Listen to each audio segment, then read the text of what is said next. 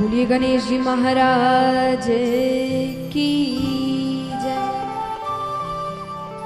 सावरिया सेठ की जय।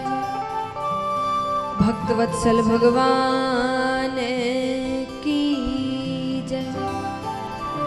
खाटू नरेश की जय। रानी सती दादी बीराबर जी दादी की। बालाजी महाराज की बाबा भूतनाथ की श्री सुखदेव मुनि महाराज की जय। भागवत महापुराण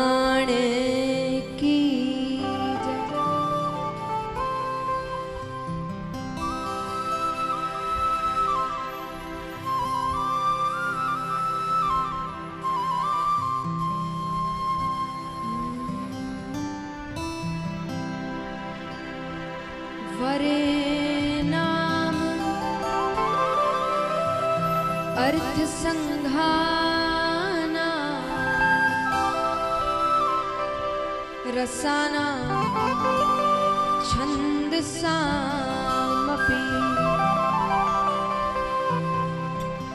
मङ्गलानां च कर्ता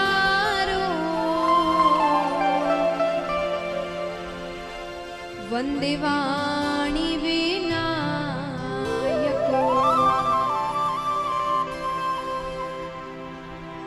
नमो ब्रह्माण्डदेवा ब्राह्मण हिताय च। जगद्धिताय कृष्णाय। गोविन्दाय नमो नमः। छविललितकमलाकोटिसम् नवनील अंबर धारिणी। शशि बदन कंज विलोचनी। शिर चंद्रिका मृदुहासिनी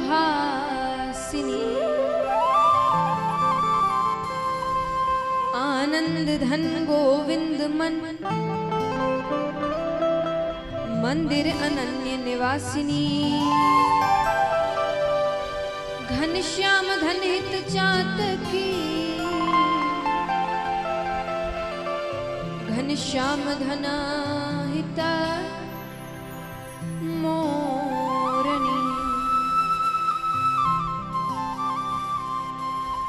जय जय श्रीराधे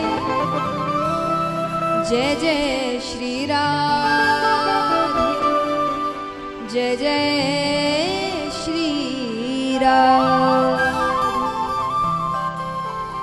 हरि नमो पार्वती पते नमः। महादेव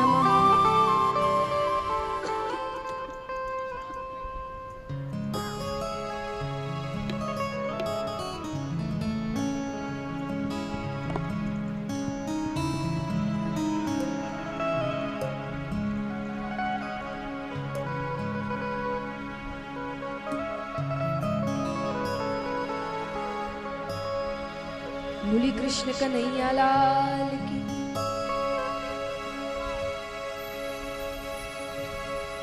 दो शब्द मैं कहूँगी, वही दो शब्द आपको दोहराने हैं। ठीक है? उसके आगे का नहीं गाना है। उसके आगे का आपको पता होगा, लेकिन आपको गाना नहीं है। जो दो शब्द मैं कहूँगी, वही दो शब्द आपको कहने हैं।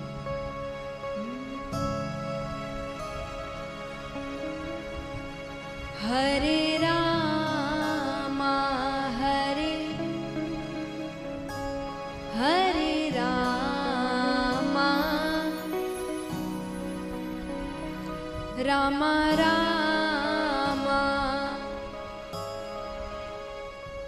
हरे हर।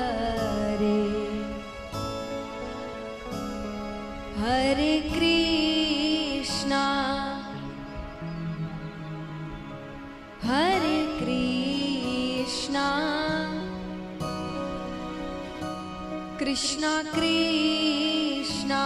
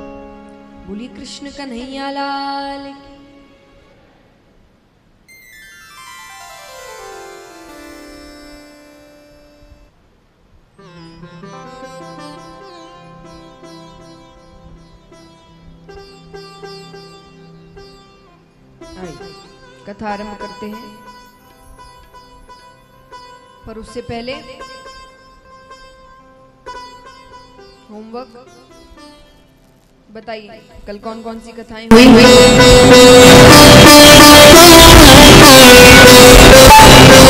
भरत जी की कथा। दक्ष राजा की कथा। राजा बैन पृथु राजा। और भक्त प्रहलाद चरित्र।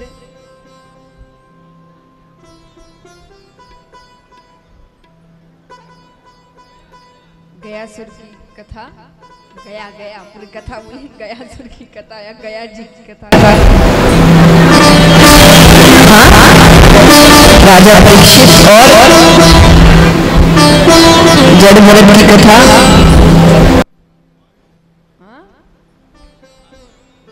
ब्रह्मा जी और नारद जी का वार्तालाप। पृथु हो गए और और। किसकी? अजामिल की कथा। वेरी गुड तो ये सारी कथाएँ हमने कल सुनी। हमने प्रहलाद चरित्र सुना।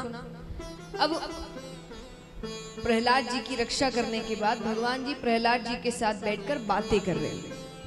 दोनों एक दूसरे से वार्तालाप, चर्चाएँ कर रहे हैं। तो प्रहलाद जी कहते हैं कि, प्रभु, ऐसे तो मैं पाँच वर्ष का हूँ।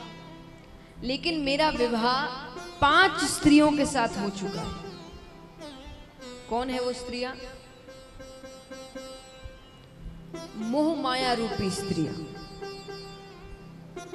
भोग इत्यादि होते हैं ना?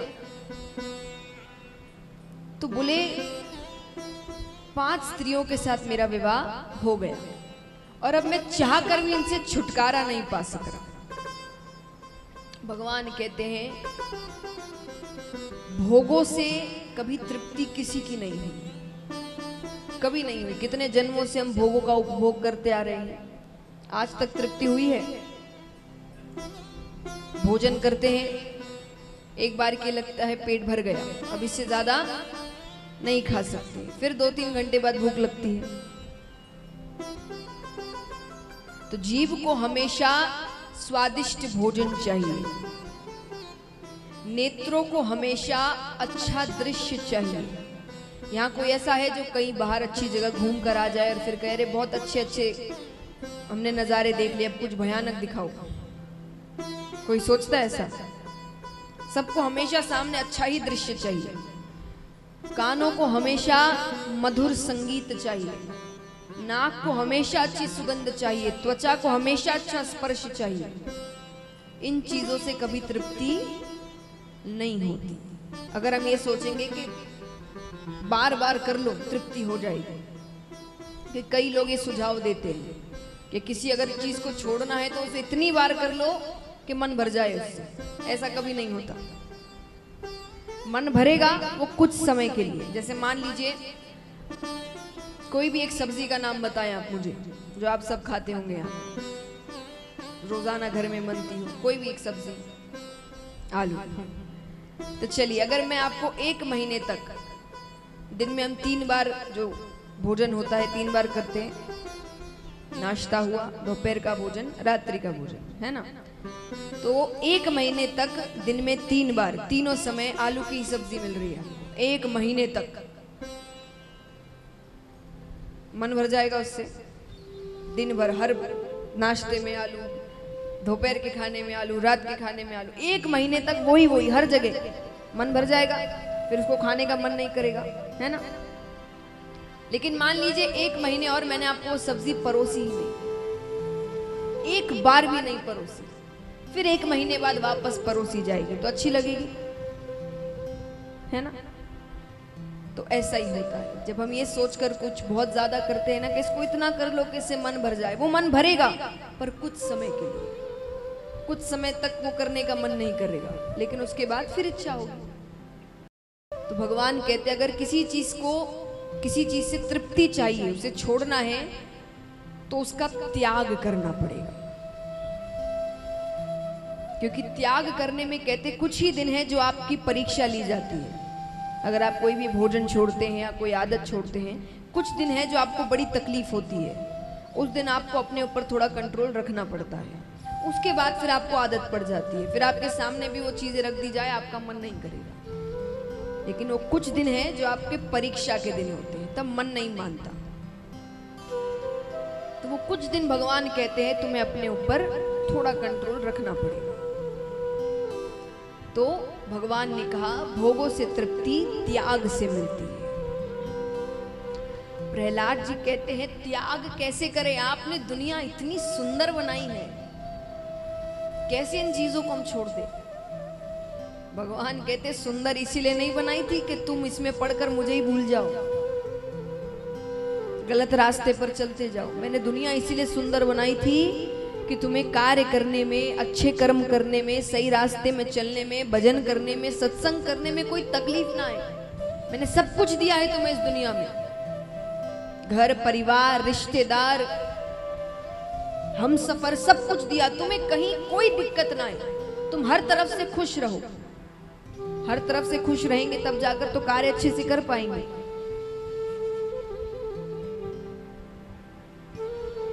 तो भगवान कहते अब इन चीज़ों का तुम गलत इस्तेमाल कर रहे हो। और फिर कह रहे हो कि मैंने ये चीज़ें की है। एक सेठ जी थे, धर्म के कार्य करते थे। उन्हें पता चला किसी गाँव में पानी की बहुत किल्लत है। महिलाओं को दूर दूर दूसरे गाँव पानी भरने जाना पड़ता है। आधी रात में ज़रूरत पड़ गई तो आधी रात में बच्चों को छोड़कर जाना पड़ता है। तो सेठ जी ने उसी गाँव में कुआँ बनवा दिया।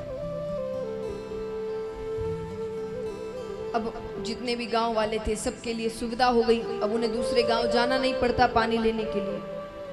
अब कुछ दिनों बाद उसी कुएँ के पास कुछ बच्चे खेल रहे थे।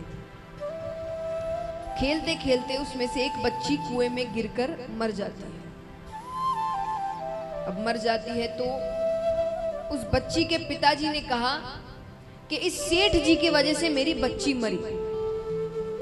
ना तो ये कुआ बनवाते और ना बच्चे इसमें गिरकर मरते।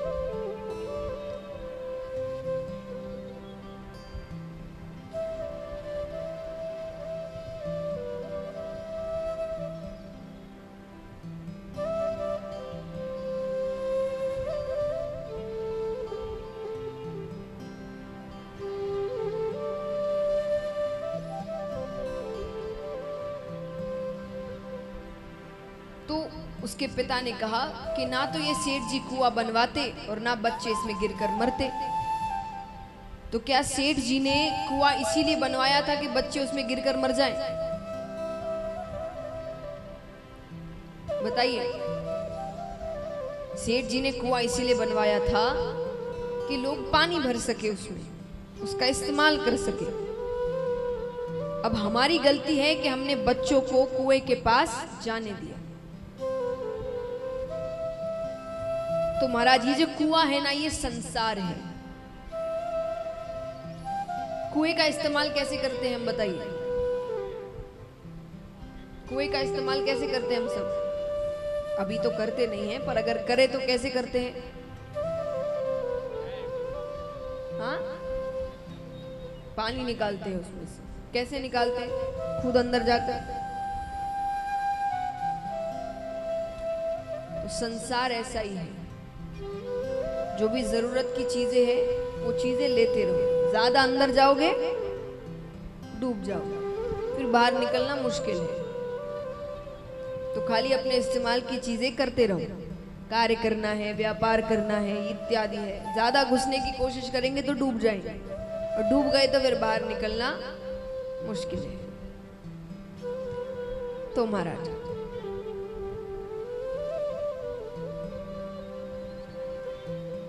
भगवान कहते हैं कि मैंने ये सारी चीज़ें इसीलिए बनाई थी ताकि तुम्हें मेरा भजन करने में कोई तकलीफ़ ना हो। अब तुम इसका गलत उपयोग करते हो। संसार को हर वक्त भोग की दृष्टि से देखना गलत है। संसार को भगवत दृष्टि से देखिए। भोग की दृष्टि क्या होता है? क्या ले लूँ? क्या ले लूँ? क्या ले लूँ? मेरा कितना फ़ायदा हो जाए? और भगवत दृष्टि क्या होता है? क्या कर दो? मेरी कौन सी ऐसी हरकत हो या मेरी कोई कला है जिससे दूसरों को भी सहायता मिल सके? संसार बुरा नहीं है। लोग कहते ना दुनिया इतनी खराब हो गई है। तो कौन सी दुनिया खराब हुई है? बताइए। हमारी दुनिया, हम ही लोग तो थोड़ी कोई दूसरे ग्रह से लोग आ रहे हैं या दूसरा ग्रह जो खराब हुआ, आज के लोग ऐसे हो गए, ये कर रहे हैं। कौन लोग कर रहे हैं? दूसरे ग्रह से आकर थोड़ी कर रहे हैं। हम और आप ही तो कर रहे हैं। तो दुनिया थोड़ी खराब है, हम खराब हैं। एक बार एक व्यक्ति रास्ते से जा रहा था। एकदम साफ़ सुथरा रास्ता है। कुछ भी गंदगी नहीं है। हाथ में एक चिप्स का पैकेट है उसके। उसने सोचा, ये तो फेंकूँगा, कहाँ हवा में उड़कर चला जाए उसने फेंक दिया। कुछ दिनों बाद वो उसी रास्ते से वापस जाता है तो बहुत सा कूड़ा इकट्ठा हुआ हुआ था वहाँ खूब सारी गंदगी थी। कहते हुए जाता है, सरकार ने कितनी गंदगी करके रखी है, कुछ सफ़ाई नहीं हुई। शुरुआत किसने करी? तो कहने का तात्पर्य, क्या हुआ? हम नहीं बदलेंगे। हम जैसे हैं, हम वैसे ही रहेंगे। जो दिन में दो बार या एक बार सफ़ाई करते, वो दस बार करो। पर हम तो ऐसे कैसे रहेंगे? तो ऐसे दुनिया तो नहीं बदलने वाली। जो बदलाव आप दुनिया में चाहते हैं, पहले आपको अपने अंदर लाना पड़ेगा। हमेशा दूसरों को बदलने की कोशिश करते हैं। वो ऐसा हो जाए, वो वैसा हो जाए, ये ऐसे बात करे, वो वैसे बात करे। हम कितना बदले हैं आज तक? एक बार राजा अकबर की बेटी राजमहल से बाहर खेलते खेलते चली जाती है। उसके पैरों में कांटा चुभ गया। अब रो रही है, अब राजा की बेटी है। रो रही है तो पूरा राजमहल सर पे उठा लिया गया। औषधि मंगवाओ, ये करो, वो करो। और राजा ने अपने मंत्री से कहा कि काम करो, पूरे राज्य में दरी बिछवा दो। पूरे राज्य में। आज के बाद राजकुमारी के पैरों में कांटा ना चुभे। अब मंत्री चिंता में पड़ गए क्योंकि वहाँ तो हाँ कर दी, पर सब जानते राजा अकबर का राज्य कितना बड़ा है। कितनी दरी लाएँगे कहाँ से? पूरा राज्य कैसे समेटे? बीरबल के पास जाते हैं। ऐसा ऐसा हुआ है, राजा ने कहा, पूरे राज्य में चमड़ी बिछवा दरी बिछवा दो। बीरबल ने विचार करके सोचा कि पूरे राज्य को बदलने की बजाय या पूरे राज्य में दरी बिछवाने की बजाय राजकुमारी के पैरों को ढक दिया जाए। उनके लिए दो जूतियाँ बना दी जाए। पर इसका उदाहरण, इसका सार क्या है कहानी का? कि राजा अकबर ने क्या सोचा? सबको बदलो। पूरा राज्य बदल जाए, पर उसके पैरों को नहीं ढका जाए। यानी उसको नहीं बदला जाएगा। हम ऐसे ही करते हैं। कुछ गलत लग रहा है तो हम नहीं सुधरेंगे या हम नहीं बदलेंगे। सबको बदलो। ऐसे भगवान कहते हैं, संसार नहीं सुधरता। परिवार, रिश्ते, नाते कुछ नहीं सुधरते जब तक आप खुद कोशिश नहीं करेंगे। तो भगवान कहते हैं, अगर तुम्हें सही होना है, तुम कहते हो मुझे भोगों से तृप्ति चाहिए, मुझे भगवान में लगना है तो कोशिश तो तुम्हें ही करनी पड़ेगी। तुम मुझे कह रहे हो, आपने दुनिया ऐसी बनाई है, वैसी बनाई है। तो एक तुम्हारे लिए मैं दुनिया थोड़ी बदल दूँगा। बदलना तुमको पड़ेगा। तो भगवान कहते हैं, अपना नज़रिया बदलो, खुद को बदलो। तो भगवान ने कहा कि संसार को भोग की दृष्टि से नहीं, भगवत दृष्टि से देखो। सत्संग आपको यही चीज़ें सिखाती है। देखिए, जीवन में कई ऐसी चीज़ें होती हैं जिनमें बदली नहीं चलती। बदली यानी? बदली यानी? कि मेरे बदले कोई और कर ले। कई बार होता है ना, कोई काम है, हमसे नहीं हो पा रहा तो हम किसी और से कह देते कि भाई तुम कर लो। बच्चों के होमवर्क है, बच्चे नहीं कर रहे माता पिता कर देते हैं, वो जाके दिखा देते हैं। उसको कहते बदली। किसी के बदले किसी और ने कर दी तो संसार की कुछ चीज़ें हैं जिसमें बदली नहीं चलती। पहला, भोजन। ऐसा हो सकता है, भाई, मुझे बहुत ज़रूरी काम है, मेरे बदले का भोजन कर लो, मेरा पेट भर जाएगा। हो सकता है ऐसा? नहीं, खुद को ही करना पड़ेगा। दूसरा, शादी। कोई कहते बहुत ज़रूरी मीटिंग है, फेरे तुम ले लो। मैं दोस्त तो तुम मेरे, फेरे ले लो, फिर मैं आ जाऊँगा। कर सकते ऐसा? नहीं। तीसरा, मृत्यु। मेरे घर में शादी है, भाई, मेरे बदले तुम मर जाओ। कोई मरेगा? और चौथा, सत्संग। सत्संग में भी बदली नहीं चलती है। ये खास करके पुरुष वर्ग के लिए है ये बात। मैंने कई पुरुषों को कहते हुए सुना है, हम इतनी पूजा पाठ नहीं करते। काम करते हैं, पत्नी करती है, उसके बदले का हमें मिल जाता है, कुछ भी नहीं मिलता।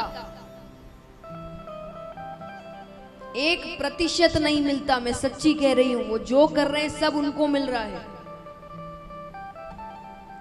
सत्संग में बदली नहीं चलती। भगवान ने प्रहलाद जी से कहा कि प्रहलाद, तुम स्वर्ग जाना चाहते हो कि नरक? उन्होंने क्या जवाब दिया होगा? स्वर्ग, आप कहाँ जाना चाहेंगे? स्वर्ग है ना? लेकिन उसके लिए तो मरना पड़ेगा। तो भगवान कहते, खुद के मरे बिना स्वर्ग भी नहीं मिलने वाला। उसके लिए भी मरना पड़ेगा पहले तुम्हें। और मरने से सबको डर लगता है। तो भगवान कहते हैं, अगर कल्याण करवाना है, मुक्ति चाहिए, सुख चाहिए तो सत्संग तो करना पड़ेगा।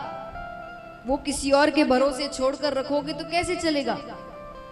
हमने हर चीज़ को मर्यादा दी है जीवन में। हर चीज़ को, काम को, रिश्तों को, मनोरंजन तक को हमने मर्यादा दी है। मर्यादा यानी नियम अनुसार कि हफ़्ते में संडे का दिन, मस्ती का दिन है। तो सोचिए, हमने मनोरंजन तक को इतनी मर्यादा दी है कि उसका भी दिन निकाला है, सत्संग को कोई मर्यादा नहीं। है कथा होती है, समय है तो आएँगे, नहीं है तो नहीं आएँगे। पूजा पाठ भी काम के अनुसार, अगर काम नहीं हुआ, समय मिल गया तो कर लिए, नहीं तो पूजा को थोड़ा पोस्टपोन कर सकते हैं। थोड़ी देर बाद कर लेंगे, शाम को कर लेंगे। क्यों?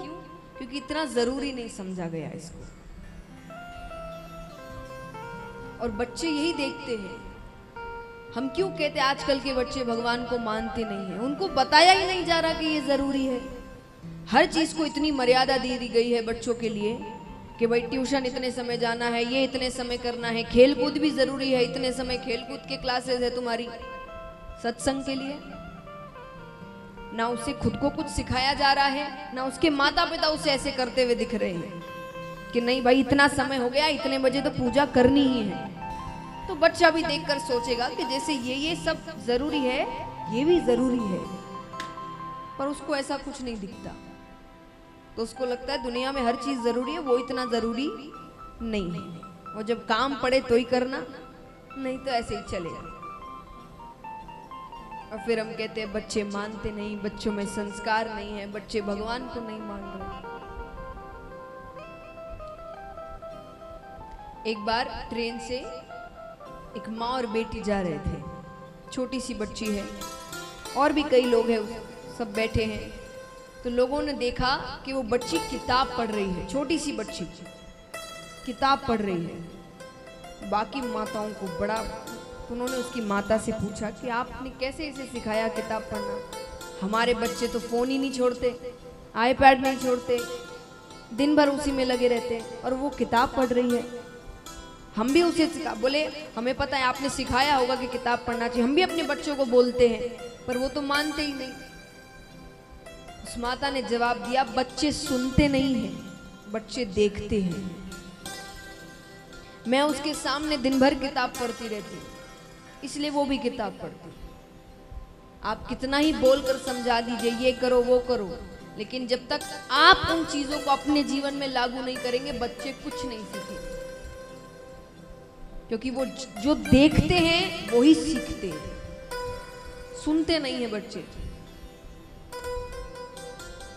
तो भगवान ने कहा कि जैसे सांसारिक चीज़ों में इतनी तुमने मर्यादा रखी है, सत्संग में भी मर्यादा रखो। अगर इतने बजे पूजा का नियम है तो आंधी तूफ़ान आ जाए, इतने बजे पूजा होगी। कैसे भी होगी फिर देखिए, भगवान आपके कामों में कितनी मर्यादा रखेंगे। कि अगर इतने तारीख पे आपका काम होना है तो उतने तारीख पर हो जाएगा कितने भाई बहन हैं जिनको अगर कथा का निमंत्रण देने जाते हैं ना कि कथा हो रही है तो वो पूछते हैं, संडे के दिन आएँगे, संडे पड़ रहा है बीच में? उस दिन छुट्टी होती है, काम बंद होगा। घर में जब ब्याह, शादी होते हैं, तब दुकानें बंद कर कर नहीं जाते दस दस दिन तक। जाते हैं कि नहीं? पर कथा में हम पूछते हैं, संडे बीच में पड़ रहा है क्या? और विचार करिए, ऐसा कभी ना हो भगवान, लेकिन कभी आपके जीवन में कोई संकट आया। और आप भगवान के पास दौड़े दौड़े जाते हैं, कि मंदिर जाते हैं, भगवान मेरी रक्षा करिए, भगवान इस संकट को दूर करिए, और भगवान पलट कर आपसे कह दे, संडे के दिन आना। उस दिन मेरी छुट्टी रहती है, उस दिन काम करूँगा, अभी समय नहीं है मेरे पास। कैसा लगेगा आपको? अच्छा लगेगा? सोचिए, उनको कितना खराब लगता होगा कि मुझे अपने अनुसार समय देते हैं ये सब। ये खाली है तो भगवान को पूज लेंगे, नहीं है तो छोड़ो। तो भगवान बहुत सी बातें समझाते हैं प्रहलाद जी को। उसके बाद अपने धाम भेज देते हैं। अब दूसरा प्रसंग आता है। ये चर्चा चल रही है नारद जी और युधिष्ठिर जी के बीच में। धर्म की चर्चा चल रही धर्म क्या है? जिसकी चर्चाएँ आजकल काफ़ी होती है। न्यूज़ इत्यादि में देखते रहते धर्म क्या है? क्या मानना चाहिए? क्या करना चाहिए? तो धर्म के तीस लक्षण है। कितने लक्षण है? तीस। पर मैं आपको पाँच लक्षण बताती हूँ। सबसे महत्वपूर्ण। क्योंकि अगर ये शुरुआती पाँच लक्षण आपने नहीं माने तो ऊपरा ऊपरी कार्य करने से कुछ नहीं होने वाला।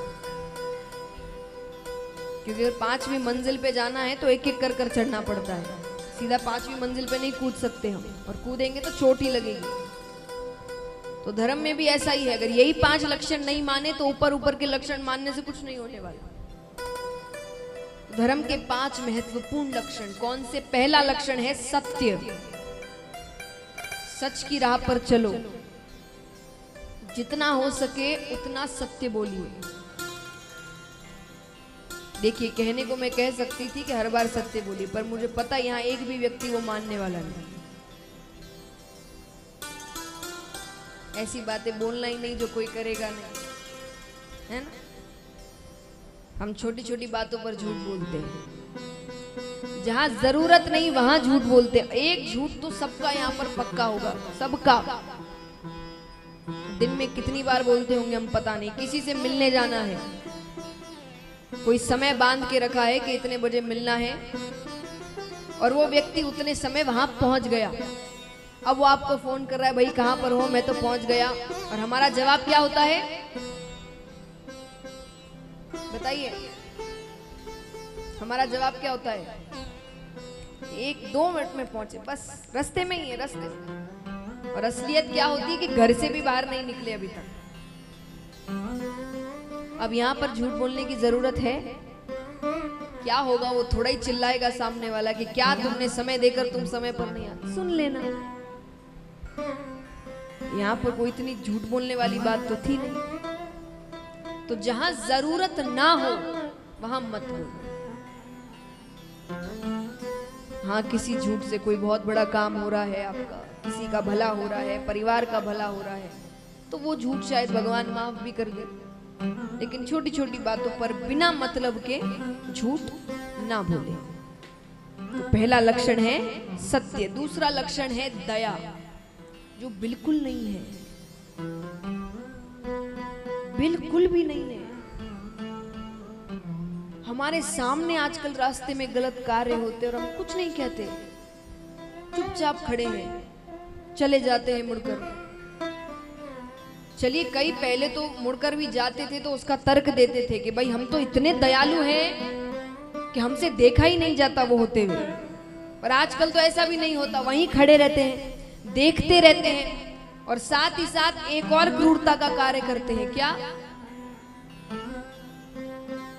वीडियो बना रहे होते कोई तकलीफ़ में है, कोई चीख रहा है, कोई रो रहा है, और हम पीछे खड़े होकर वीडियो बना रहे हैं। कहाँ है दया?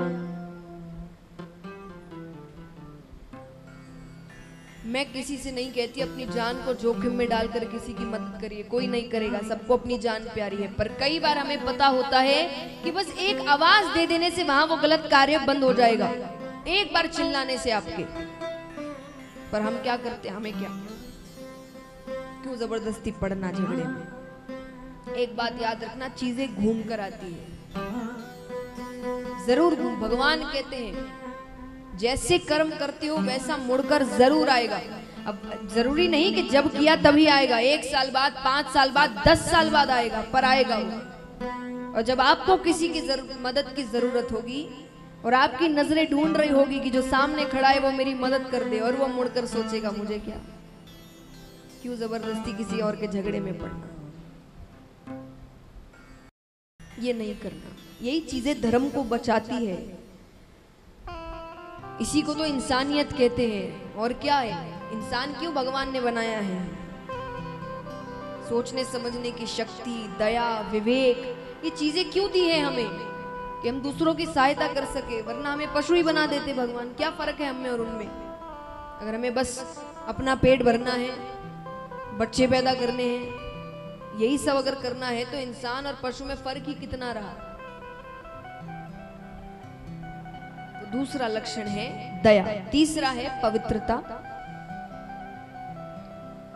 जितनी पवित्रता होती है, घर हो, परिवार हो आप जितना साफ़ सुथरा रखेंगे, उतनी लक्ष्मी आती है, कहते हैं।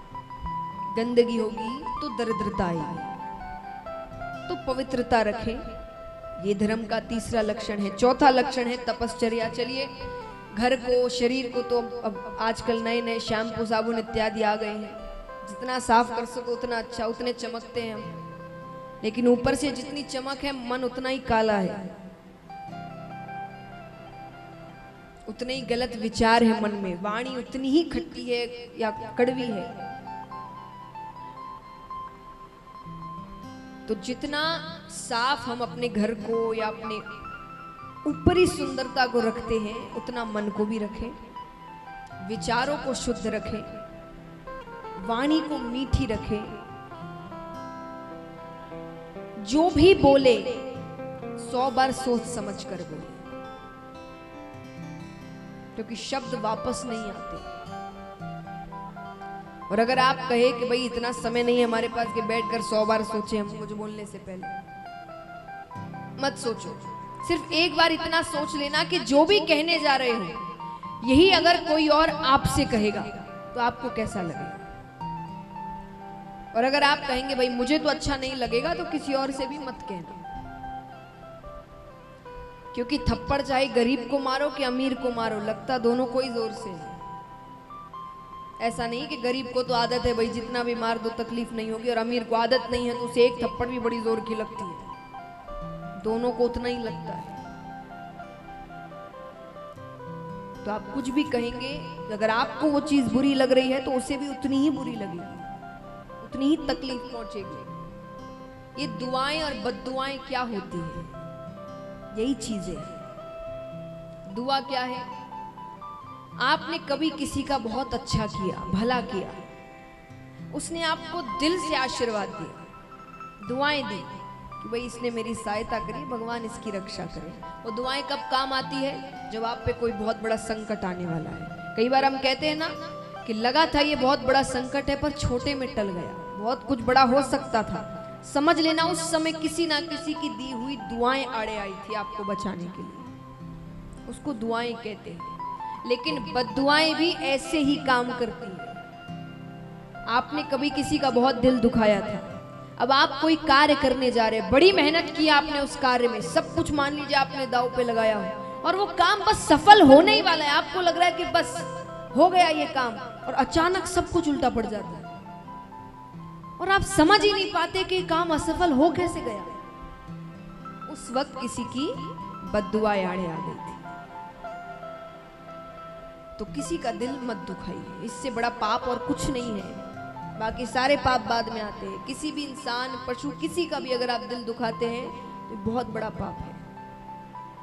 पांचवा लक्षण है तितीक्षा।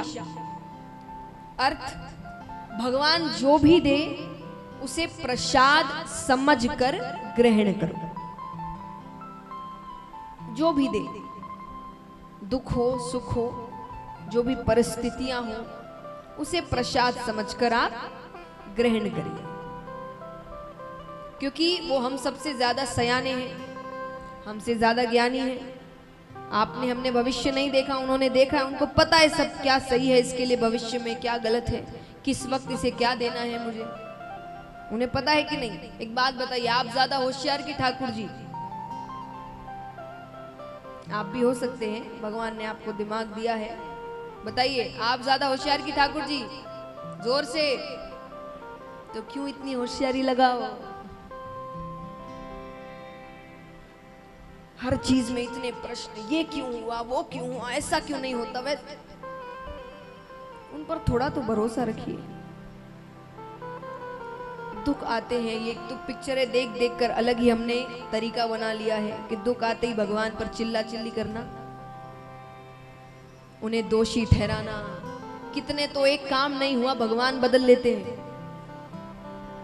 कहीं और प्रसाद चढ़ाकर देखते हैं, किसी और के धाम जाकर देखते हैं। इतना भी भरोसा नहीं है भगवान पर।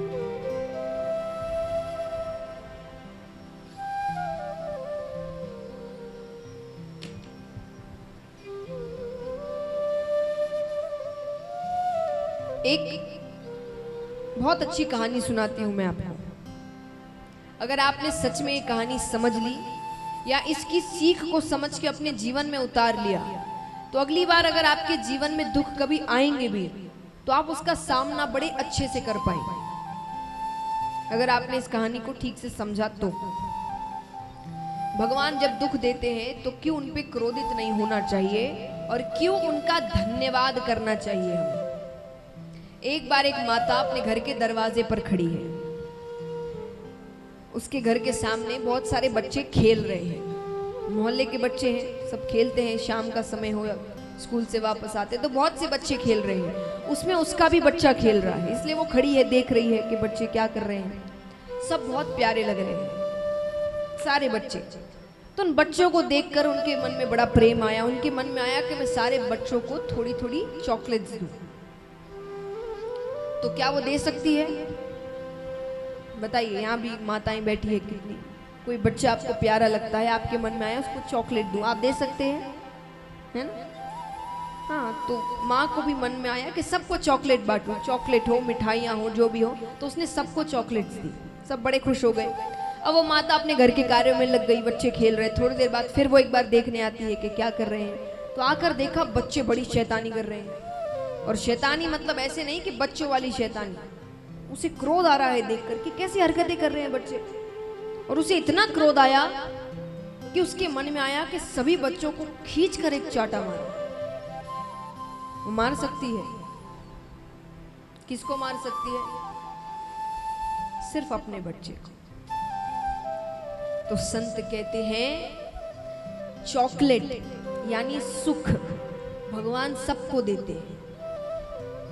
लेकिन थप्पड़, यानी दुख, भगवान सिर्फ़ अपने बच्चे को मारते। क्योंकि दुख का मतलब क्या है? अगर आपके माता पिता आपको थप्पड़ मारते भी है तो ऐसा थोड़ी कि भाई बैठे बैठे बोर हो रहे हैं, चलो, थप्पड़ मारते हैं। आपने कुछ गलती की है, तभी मारा है ना? तो दुख आए हैं, इसका मतलब ये थोड़ी कि भगवान बोर हो रहे हैं, चलो, किसी ना किसी को दुख देकर देखते हैं।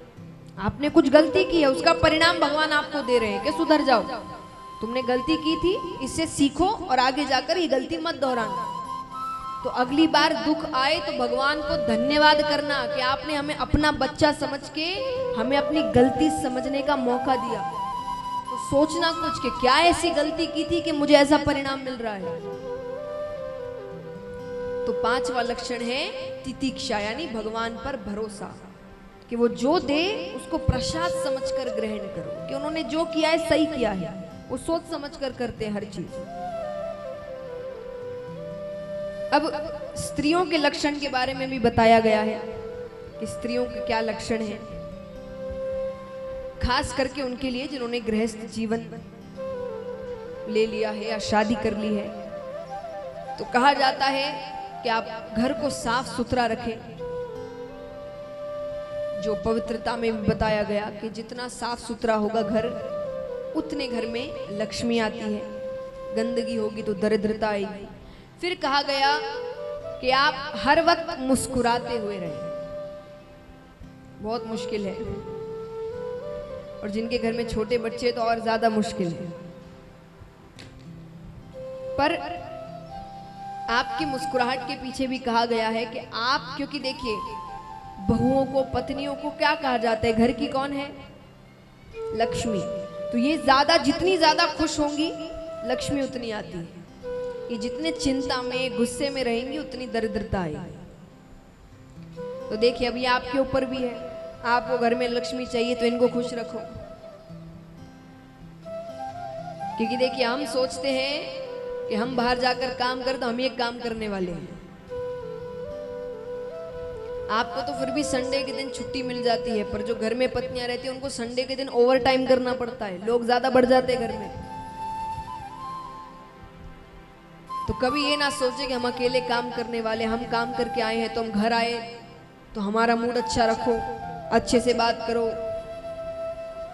तो आपको क्या पता उनको घर में कितनी चिंताएँ हैं? कभी हो सकता है उनका भी मूड खराब हो। तो दोनों को समझने की ज़रूरत है।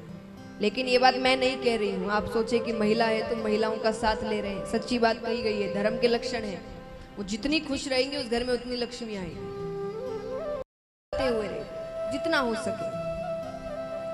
तो महाराज, और कहा गया, पतिव्रता धर्म का पालन करें। पतिव्रता एक धर्म है, उसके कुछ नियम हैं, उन नियमों का पालन करे।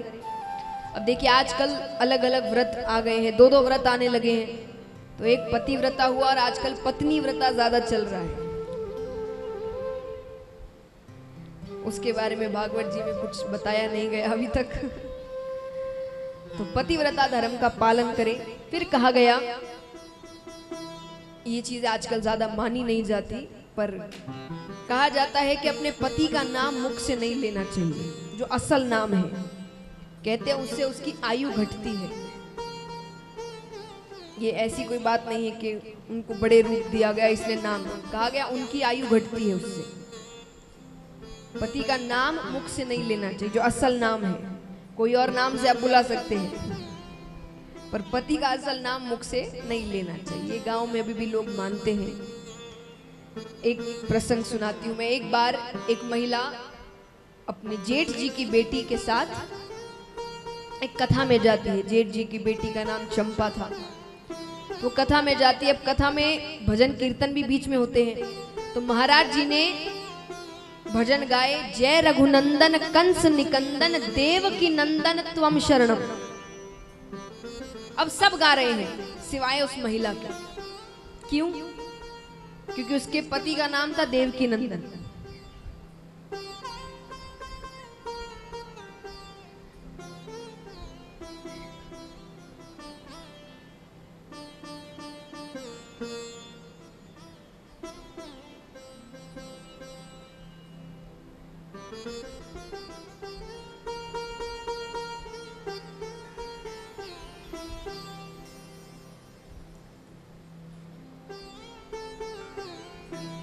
तो महाराज उसके पति का नाम था देवकी नंदन अब वो भजन गा नहीं रही।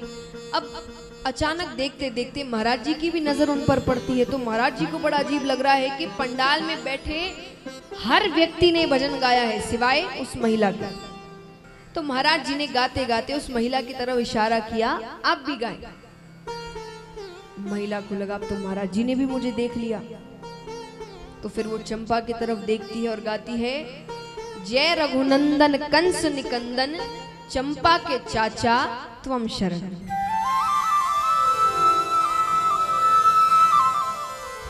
अभी दृश्य ऊपर भगवान देखते, भगवान मुस्कुराने लगते, लक्ष्मी जी ने कहा, क्या हुआ?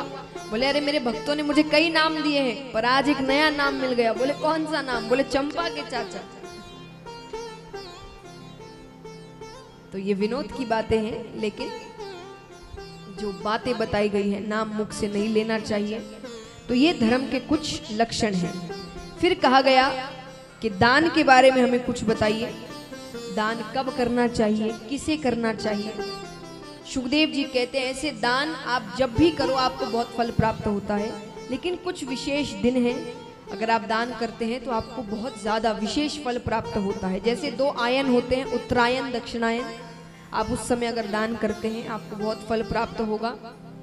अक्षय तृतीया के दिन अगर आप दान करें तो आपको बहुत फल प्राप्त होता है। घर में किसी का जन्म हो तो आप दान करिए, या किसी की मृत्यु हो जाए तो आप दान करिए, आपको बहुत फल प्राप्त होता है। लेकिन दान भी किसे करें? सुपात्र को, जो उसका सही उपयोग करेगा, जिसको सच में ज़रूरत है। कुपात्र को दान करोगे, दान उल्टा पड़ जाएगा। यानी वो जो गलत कार्य करेगा, उसका परिणाम आपको मिलेगा, क्योंकि धन उसे आपने दिया है। और धन भी शुद्ध हो, इसलिए कहा जाता है आपकी जो अच्छी कमाई है, उसका दस प्रतिशत दान करना चाहिए। इससे धन की शुद्धि होती है। अगर काला धन लाया और उसको दान में लगा दिया तो कोई फल प्राप्त नहीं होगा। तो भगवान भी ऊपर से देखते हैं। तो आपकी जो अच्छी कमाई है, उसका दस प्रतिशत आपको दान करना चाहिए। तो महाराज दान के बारे में बताया गया। अब राजा परीक्षित पूछते हैं कि प्रभु, ये बताइए कि कभी ऐसा हुआ है कि भगवान ने किसी पशु को दर्शन दिए? हाँ हुआ है। कैसे? सुखदेव जी कहते हैं कि त्रिकूट नामक एक पर्वत था। उसके पास एक सरोवर बहता था। उस सरोवर में एक हाथी आया करता था। हाथी भी कौन सा? सफ़ेद हाथी। बहुत सुंदर। और इतना शक्तिशाली कि उसकी सुगंध से, देखना तो दूर, उसकी सुगंध से शेर तक डर कर भाग जाए। उसकी सुगंध भी आ जाए उससे उसका नाम था गजेंद्र। गजेंद्र नामक हाथी। वो अपने परिवार के साथ आता है क्रीड़ा करने। अब कभी सून में पानी भरकर वो बच्चों पर फेंके, बच्चे खुश हो जाए। कभी पानी भरकर वो पत्नी पर फेंके, पत्नी शर्मा जाए। क्रीड़ाएँ कर रहे हैं वो अपनी। अब उसी पानी में एक ग्राह आता है। ग्राह यानी मगरमच्छ। वो आकर गजेंद्र के पैरों को पकड़ता है। अब गजेंद्र सोचे, ये इतना सा ग्राह मेरा क्या बिगाड़ लेगा? देखिए, जैसा मैंने कहा, हर कहानी में एक सीख है। इस कहानी में क्या सीख है? ग्राह यानी वो जो मगरमच्छ था, वो कौन है? किसका रूप है? काल का, यानी मृत्यु। और गजेंद्र कौन है? हम सब। काल जब आता है ना, सबसे पहले पैरों को ही पकड़ता है। कहते ना, आज पैरों में दर्द रहने लग गया है। सीढ़ियाँ नहीं चढ़ी जाती घुटने दुखते हैं। मतलब काल ने पैरों को पकड़ लिया है। अब सुधर जाओ। पर हम कौन है? गजेंद्र। हमने क्या कहा? ये इतना सा ग्रह मेरा क्या बिगाड़ लेगा? हम ध्यान नहीं देते उस पर। ध्यान नहीं देने का अर्थ क्या होता है कि हम अभी भी फिर संसार में लगे पड़े रहते हैं। काल आने वाला है, फिर भी कोई ध्यान नहीं। हम संसार में लगे हैं। तो गजेंद्र ने कहा, ये क्या मेरा बिगाड़ लेगा? लेकिन ग्राह पानी का पशु है। पानी में रहकर उसकी शक्ति बढ़ती ही जाएगी। गजेंद्र, पानी का पशु नहीं है। पानी में रहकर उसकी शक्ति घटती जाएगी। ज़्यादा आप पानी में रहते, शरीर भारी होने लगता है ना। वाटर पार्क जाते हैं तो बाहर निकलो तो क्या शरीर उठता ही नहीं? तो शक्ति कम होती है तब। तो गजेंद्र, पानी का पशु नहीं है, उसकी शक्ति कम होती जा रही है। अब कम हो रही है तो ग्राह उसे खींचता जा रहा है। खींचते खींचते खींचते बीच में लेकर जाता है। अब पानी के अंदर ले जा रहा है उसे। बहुत कोशिशें करते हैं गजेंद्र। और जब धीरे धीरे अंदर जाने लगते और अब लग रहा है कि शायद बच नहीं पाएँगे, तब आवाज़ लगाते अपनी पत्नी से कहते अरे मेरी रक्षा करो। पत्नी ने कहा, रक्षा तो कर लूँ। लेकिन क्या पता मैं रक्षा करने आई और उसने आपके पैरों को छोड़कर मेरे पैर पकड़ लिए तो? मैं तो नहीं आ सकती। बच्चों से कहा "अरे तुम तो मेरी रक्षा करो। तुम्हारे लिए मैंने अपने सपने छोड़ दिए, तुम्हारे सपने पूरे करने के लिए। बच्चों ने कहा, पिताजी, चिंता मत करिए, आपका सारा काम अच्छे से करेंगे। पैसों की कमी नहीं रखेंगे। अरे, उसने कहा, मैं जीवित हूँ अभी। रिश्तेदार, परिवार सबको बुलाता है, वो कोई मदद करने नहीं आता। सबको अपनी जान प्यारी है। और जब इतनी सी सूंड बाहर रह जाती है, तब उसे जब हार जाते हो हर जगह से, तब किसकी याद आती है? भगवान की। तब वो चिल्लाता है, परम पिता परमेश्वर मेरी रक्षा करो। हे द्वारिका के नाथ मेरी रक्षा करो।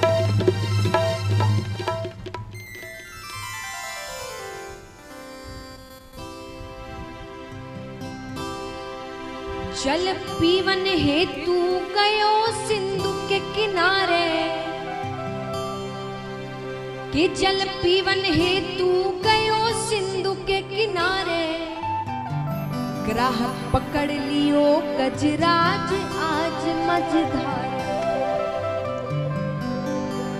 जल पीवन हेतु गयो सिंधु के किनारे। जल जीवन हेतु सिंधु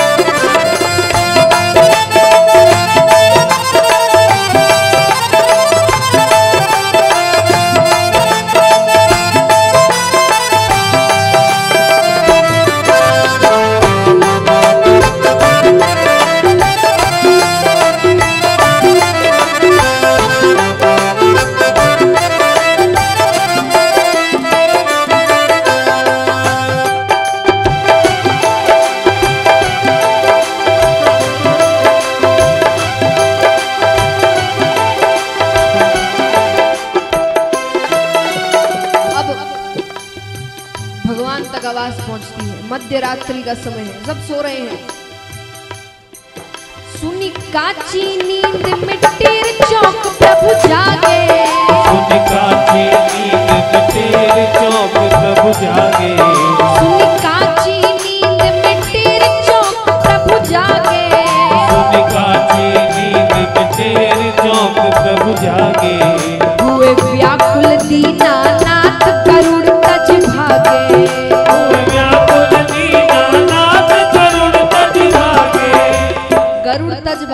मतलब हर देवता की एक सवारी है। विष्णु भगवान की सवारी क्या है? गरुड़। वो उस पर ही बैठकर हर जगह जाते हैं। तो है, हुए व्याकुल दीनानाथ। भगवान अब उस आवाज़ को सुनकर, गजेंद्र जो पुकार रहे हैं, उसको सुनकर इतने व्याकुल हो रहे हैं, मने उन्हें इतनी तकलीफ़ हो रही है कि वो जैसे ही गरुड़ पर चढ़कर चलने लगे, उन्हें लगा गरुड़ बहुत धीरे चल रहा है। ऐसे तो मैं पहुँच ही नहीं पाऊँगा। भगवान गरुड़ को छोड़कर पैदल दौड़ने लगते हैं। हुए व्याकुल दीनानाथ गरुड़ तज भागे। व्याकुल दीना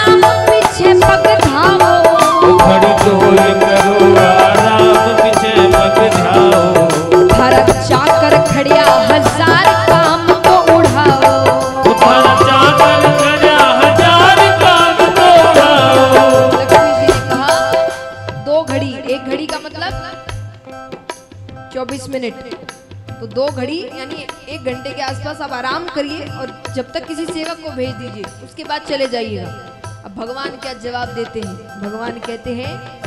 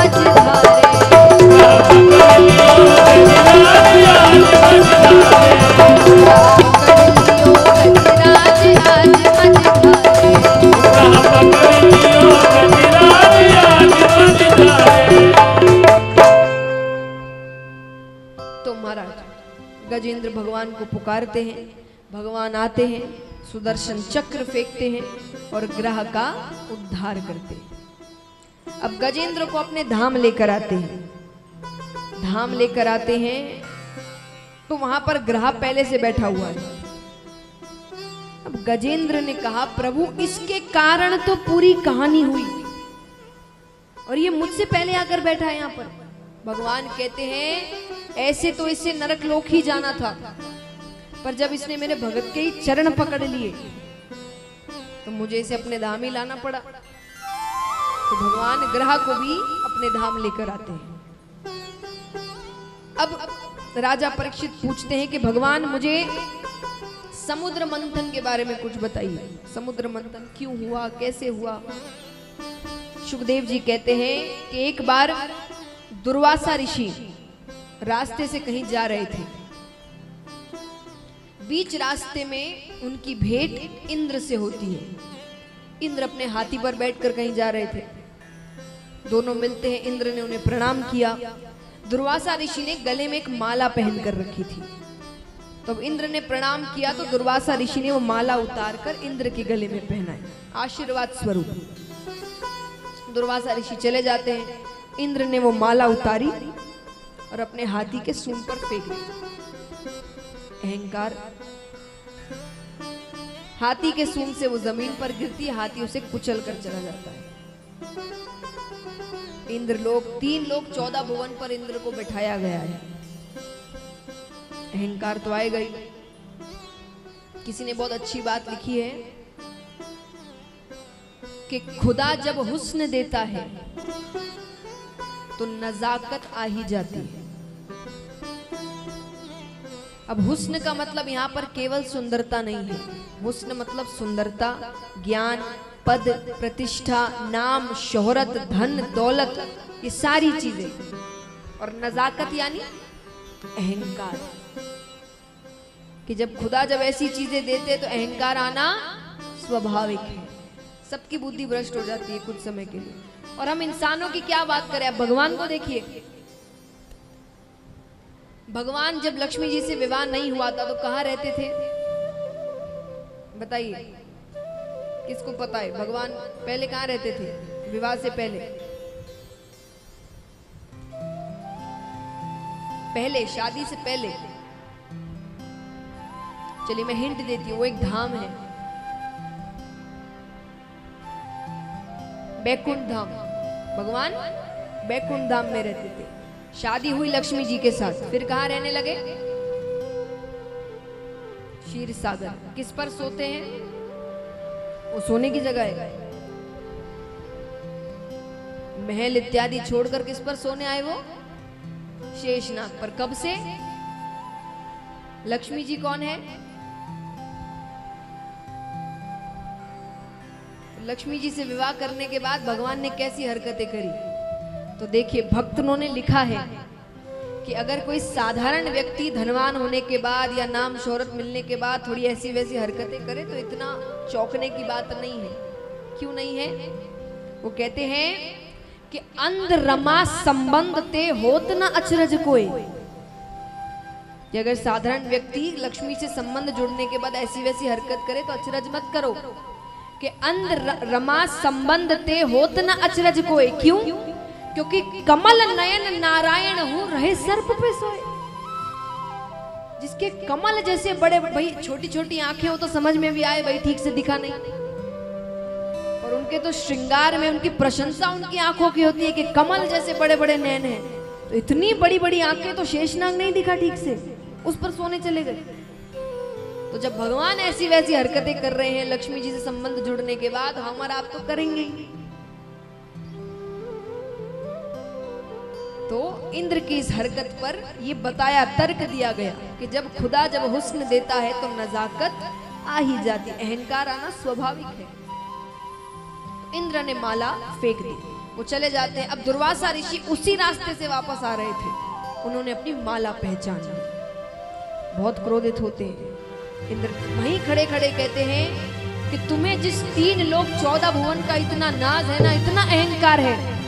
मैं श्राप देता हूँ तुमसे छीन लिया जाए। अब देखिए, ऐसे तो देवताओं को सब पसंद करते हैं, पर देवताओं के पीछे भी एक व्यक्ति हर वक्त लगा रहता है। कौन है वो? शुक्राचार्य जी। ये दैत्यों के गुरु हैं। ये मानो देवताओं के पीछे ही घूमते रहते हैं कि कब किसी को श्राप मिले और मैं उसका फ़ायदा उठाऊं। शुक्राचार्य जी यहाँ दैत्यों से कहते हैं कि इंद्र अभी श्रापित है, आक्रमण कर दो। दैत्यों ने आक्रमण किया, तीन लोग चौदह भुवन दैत्यों के पास चला गया।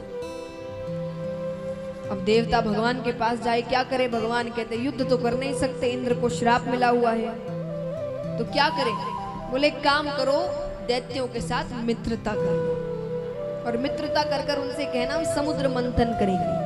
तो जो भी चीज़ें निकलेंगी आदि आदि बांट लेंगे। अब समुद्र मंथन में से दोनों को पता था अमृत निकलने वाला है। तो भगवान ने कहा, अमृत मैं तुम सबको पिला दूँगा। फिर युद्ध करना, फिर नहीं हारोगे। ठीक है, दैत्यों से कहा जाता है, वो भी मान जाते क्योंकि उन्हें भी पता था, समुद्र मंथन ना अकेले देवता कर सकते, ना अकेले दैत्य कर सकते, दोनों को मिलना ही पड़ेगा। और दोनों को अमृत चाहिए। वो इस लालच में, उन्हें अमृत मिल गया तो तीन लोग, चौदह भुवन, फिर चले जाने का कभी डर ही नहीं है उन्हें। मान गए। तो अब मंथन आरंभ करने जा रहे हैं। मदराचल पर्वत को बीच में रखा गया। बासुकी नाग को रस्सा बनाया गया। बीच में रखते हैं। अब देखिए। दैत्य बहुत शक्तिशाली है। बहुत शक्ति है उनमें। बल बहुत है, लेकिन मूर्ख है। दिमाग बिल्कुल भी नहीं है। और भगवान में दोनों हैं। भगवान को पता है कब बल का प्रयोग करना है और कब दिमाग का प्रयोग करना। है सफलता तभी प्राप्त होती है, हर वक्त बल के प्रयोग से नहीं होती। कभी कभी दिमाग भी लगाना पड़ता है। तो भगवान ने क्या दिमाग लगाया? भगवान ने देवताओं से कहा कि तुम जाकर नाग का जो मुख है, उसके सामने खड़े रहो और जिद करो कि हमें मुख की तरफ़ खड़े रहना। अब दैत्य मूर्ख है। दैत्यों ने सोचा कि विष्णु बड़ा चालाक है। ज़रूर मुख के सामने रहने से कोई फ़ायदा हो रहा है। तो दैत्यों ने कहा, नहीं, हम अभी राजा हैं, हम मुख की तरफ़ रहेंगे। भगवान ने कहा, भाई, चलो ठीक है, बात तो सही है, राजा तो यही है। आप चले जाइए, हम पीछे हो जाते हैं। देवता पीछे चले गए। अब मंथन आरंभ करेंगे तो पहले तो पर्वत ही डूबने लगा। तब भगवान ने कच्छप अवतार लिया, कछुए का रूप, और अपनी पीठ पर भगवान उस पर्वत को रखते हैं। अब मंथन आरंभ कर रहे हैं तो मंथन के लिए क्या करना पड़ेगा दोनों को? नाग को खींचना पड़ेगा। तो जैसे ही नाग को खींचते हैं, सबसे पहले उसके मुख से विष निकलता है। उस विष से कितने दैत्य वहीं मारे गए। अब बाकियों पीछे को जब तक समझ में आई चीज़, वो पीछे हटते हैं। थोड़ा विष बच जाता है। अब देखिए, कोई भी चीज़ वापस समुद्र में नहीं जा सकती। सबका इस्तेमाल करना पड़ेगा। विष का कौन करे? कोई लेने को तैयार नहीं। तब भगवान ने देवताओं से कहा, महादेव जी के पास जाओ। महादेव जी से कहा गया, आप विष ग्रहण करिए। महादेव जी मान गए, पार्वती जी कहते हैं, पार्वती जी ने कहा कि देवता बड़े चालाक हैं। अमृत खुद ग्रहण कर लेंगे और विष आपको दे रहे हैं, आपकी मृत्यु हो जाएगी।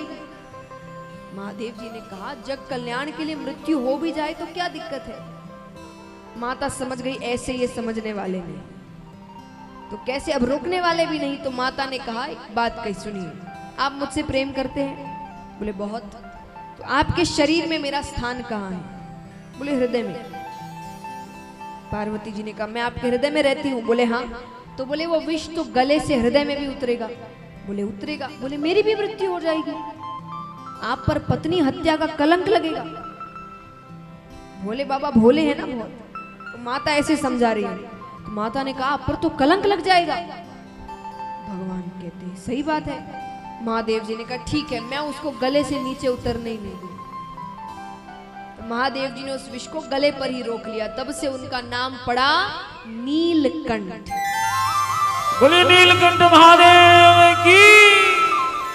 तो महादेव जी विष ग्रहण करते हैं पर उसको गले से नीचे नहीं उतरने देते। अब मंथन कर रहे हैं, मंथन में कई चीज़ें बाहर निकलती है। उच्च श्रेवा घोड़ा निकलता है, कामधेनु गाय निकलती है, ऐरावत हाथी निकलता है, सब कुछ ना कुछ ले रहे हैं, कुछ देवता ले रहे हैं, कुछ उसमें से लक्ष्मी माता भी निकलती है। लक्ष्मी माता समुद्र मंथन में से बाहर आई थी। हाथ में वरमाला ली।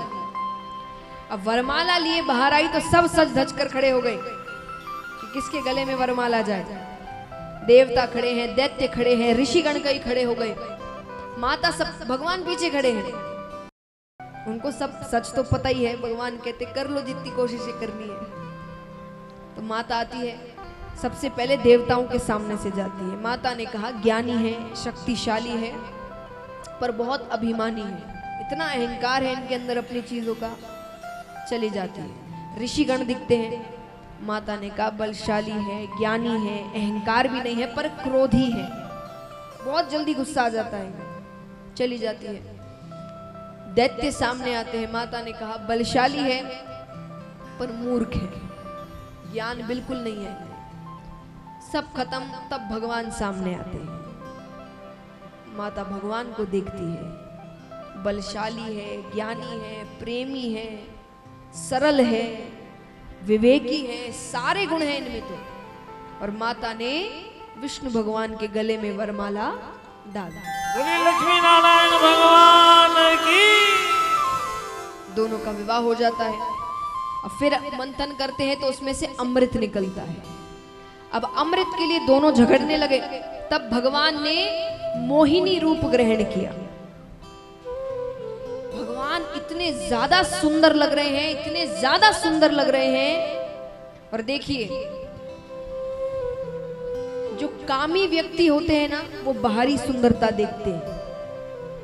जो सच्चा प्रेम करते हैं, वो आपकी अंदरूनी सुंदरता देखते हैं। तो दैत्य कामी है। अब भगवान इतने सुंदर लग रहे हैं कि वो अमृत तो भूल गए और भगवान के पीछे पीछे जाने लगे। और भगवान ने भी जितने दैत्य थे, सबको मदिरा पान करवा दिया और यहाँ पर देवताओं को अमृत पिलाने लगते अब दैत्यों में से एक दैत्य थोड़ा होशियार था, राहु नामक दैत्य। उसने भगवान को पहचान लिया। तो वो चुपचाप देवताओं की श्रेणी में जाकर खड़ा हो जाता है। भगवान ने गलती से उसे भी अमृत पिला दिया।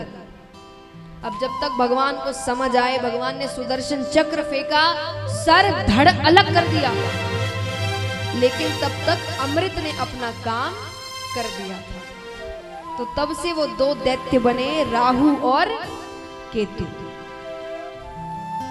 अब यहाँ पर दैत्यों को गुस्सा आता है, जैसा मैंने कहा, दिमाग नहीं है, मूर्ख है। ये समझ गए हैं, जब पता चल गया कि सबने अमृत पान कर लिया है, फिर भी गुस्से में युद्ध करते कि हमारे साथ धोखा हुआ है। युद्ध करते तीन लोग चौदह भुवन देवताओं के पास चला जाता है। इस प्रकार देवताओं ने अपना सिंहासन वापस लिया।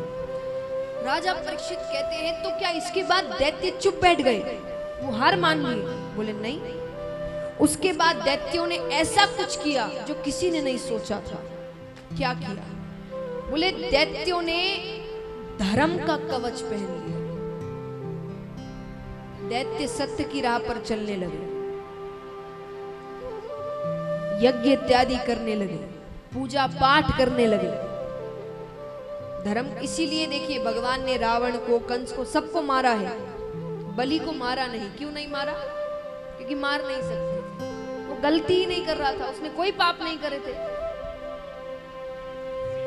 तो महाराज, अब यहाँ पर सब धर्म का कवच पहन के बैठे हैं। सब पूजा पाठ, यज्ञ इत्यादि कर रहे हैं। बलि को दैत्यों का राजा बनाया है। राजा परीक्षित ने कहा, इतने बड़े बड़े दैत्य हैं तो बलि को राजा क्यों बनाया गया बोले, क्योंकि उसी के कारण उन्हें वापस तीन लोग चौदह भुवन मिल गया था। कैसे? बलि अपने पिछले जन्म में एक डकैत थे।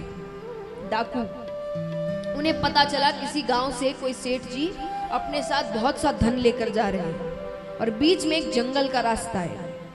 और धन उनके पास इतना है कि अगर किसी ने भी चुरा लिया तो उसे जीवन भर चोरी करने की ज़रूरत नहीं। वो बैठकर जीवन जी सकता है अपना। डकैत बलि ने सोचा, ये अच्छा मौका है। आखिरी चोरी करते हैं।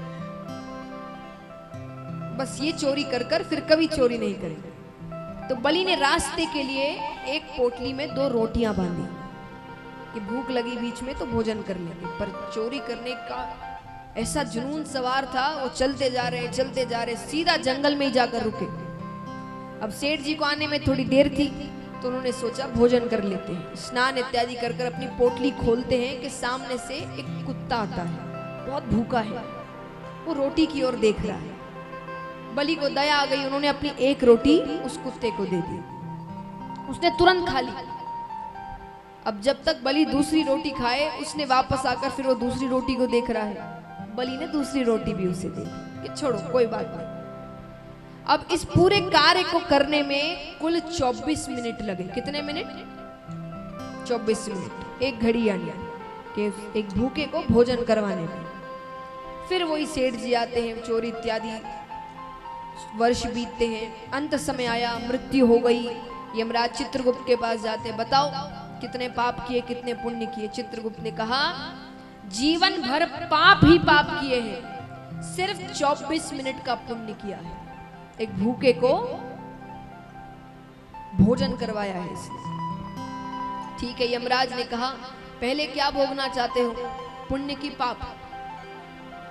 अब उसी रास्ते से शुक्राचार्य जी जा रहे हैं। शुक्राचार्य जी ने कहा, कह दो पुण्य। बलि ने कहा, पुण्य। क्या करना चाहते हो? जैसे मैंने बताया, स्वर्ग में आपकी इच्छाएँ पूरी होती हैं। तो यमराज ने पूछा, क्या करना चाहते हो? शुक्राचार्य जी ने कहा, कह दो, इंद्रासन पर बैठना है. बलि ने कहा, इंद्रासन पर बैठना इंद्र को समझाया गया 24 मिनट की बात है, उसके बाद वापस तुम्हारा ये आसन। ठीक है, बैठाते हैं। अब बैठने से पहले शुक्राचार्य जी ने कानों में कुछ कहा उसके। उसने कहा, ठीक है, मैं ऐसा ही करूँगा।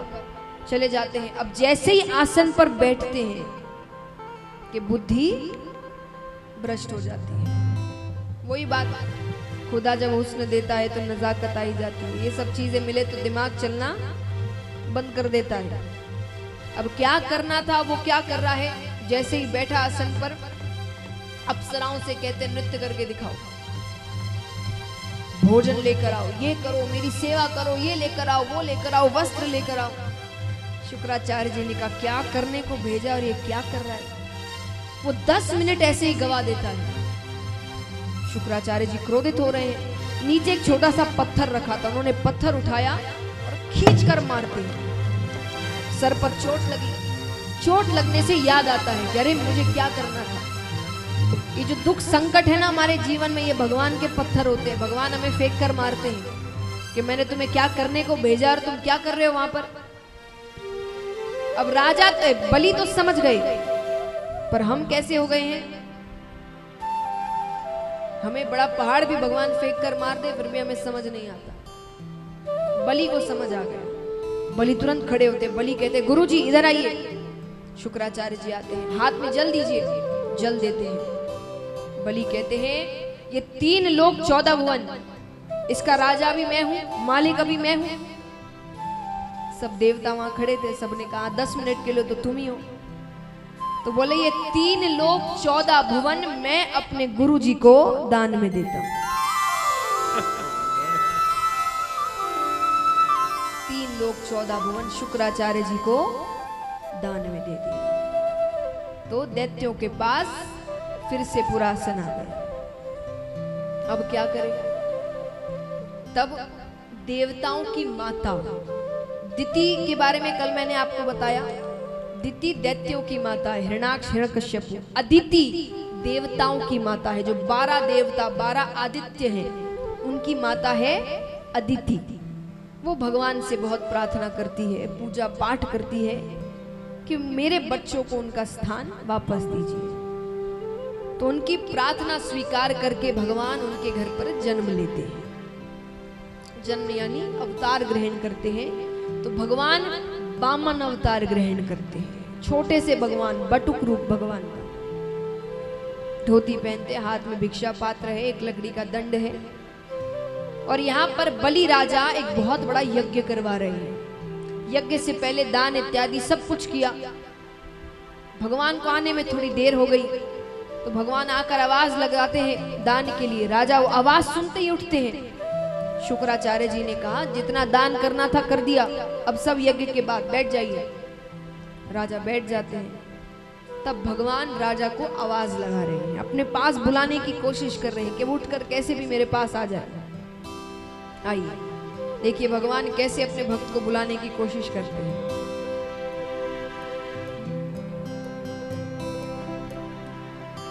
तेरे द्वार खड़ा भगवान भगत भर दे रे झोली। भगत भर झोली।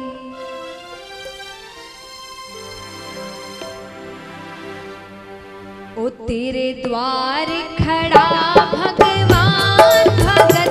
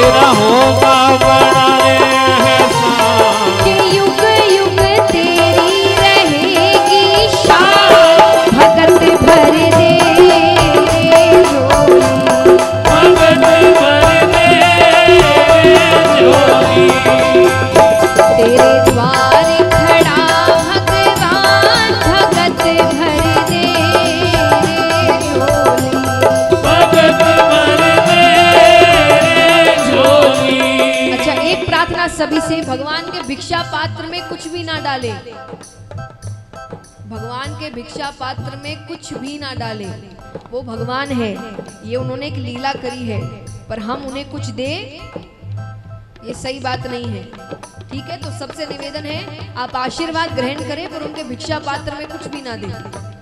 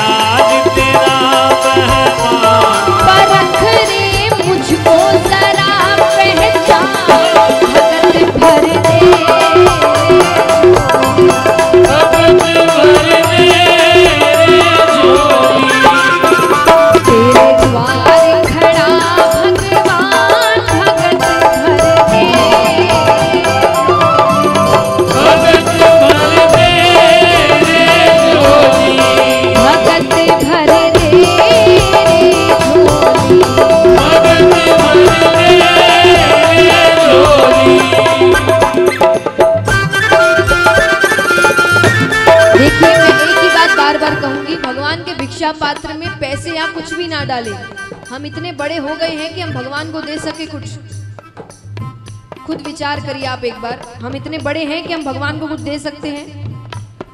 तो उनके भिक्षा पात्र में कुछ मत डाले, सभी से निवेदन है, सिर्फ़ दर्शन करिए दूर से।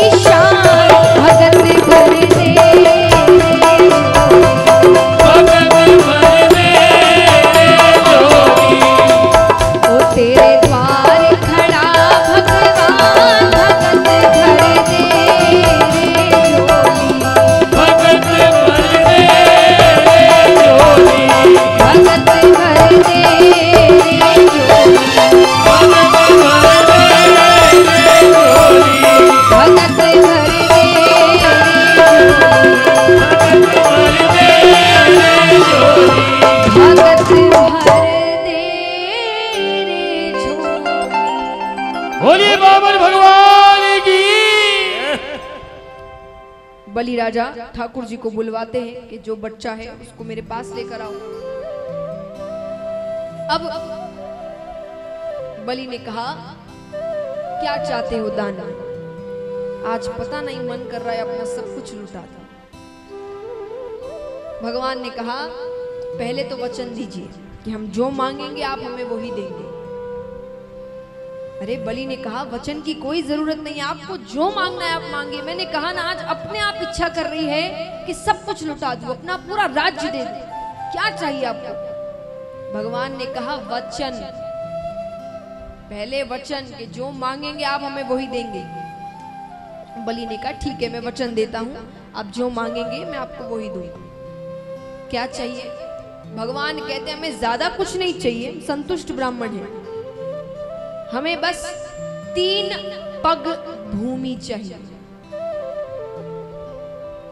राजा हंसने लग गए। राजा ने कहा, एक तो आप खुद छोटे से छोटे छोटे आपके पैर, तीन पग भूमि में कितना आ जाएगा? पग भूमि मतलब? समझे आप? तीन बार भगवान पैर रखेंगे। तो कितनी भूमि हुई? इतने से भगवान अगर तीन बार पैर रख दे तो? तो राजा ने कहा, इतने से मैं क्या हो अरे, आप कहिए, आपको आधा राज्य दे दूँ। भगवान कहते, नहीं, हम संतुष्ट ब्राह्मण हैं, ज़्यादा नहीं चाहिए। तीन पग भूमि। शुक्राचार्य जी को ये बात थोड़ी अटपटी लग रही है। बार बार तीन पग भूमि, तीन पग भूमि, बात कुछ और है। उन्होंने नेत्र बंद किए, नेत्र बंद करते ही सामने साक्षात भगवान विष्णु खड़े हैं। अरे शुक्राचार्य जी कहते हैं, मना कर दो। अरे ये सामने विष्णु है, तीन पग भूमि में तुम्हें कंगाल कर देगा ये। बलि राजा ने कहा, अब तो वचन दे दिया। और इससे अच्छी क्या बात हो सकती है कि खुद भगवान मुझसे मांगने आए हैं? दी मैंने तीन पग भूमि और ये बात कहते ही भगवान अप अपना आकार बढ़ाने लगते। हैं बढ़ते बढ़ते बढ़ते बढ़ते बढ़ते भगवान ब्रह्मांड तक चले जाते हैं। रूप बढ़ जाता है, तब जाकर भगवान अपना पहला पैर रखते पूरी धरती नाप लेते एक पैर में। दूसरा पैर रखते हैं, पूरा ब्रह्मांड नाप लेते हैं। सब कुछ मिल गया सिर्फ़ दो पैरों में। अब भगवान ने कहा, तीसरा पैर कहाँ रखूँ? बचा ही नहीं। बलि ने कहा, एक बात बताइए, दान बड़ा कि दानी बड़ा? कौन बड़ा बताइए? दान बड़ा कि दानी बड़ा? दानी, क्योंकि वो दे रहा है उसके पास है वो चीज़ें। भगवान ने कहा, दानी बड़ा, बोले, तीसरा पैर फिर मुझ पर रखिए। और भगवान अपना तीसरा पैर राजा बलि के ऊपर रखते हैं। बोले, बाबा, भगवान की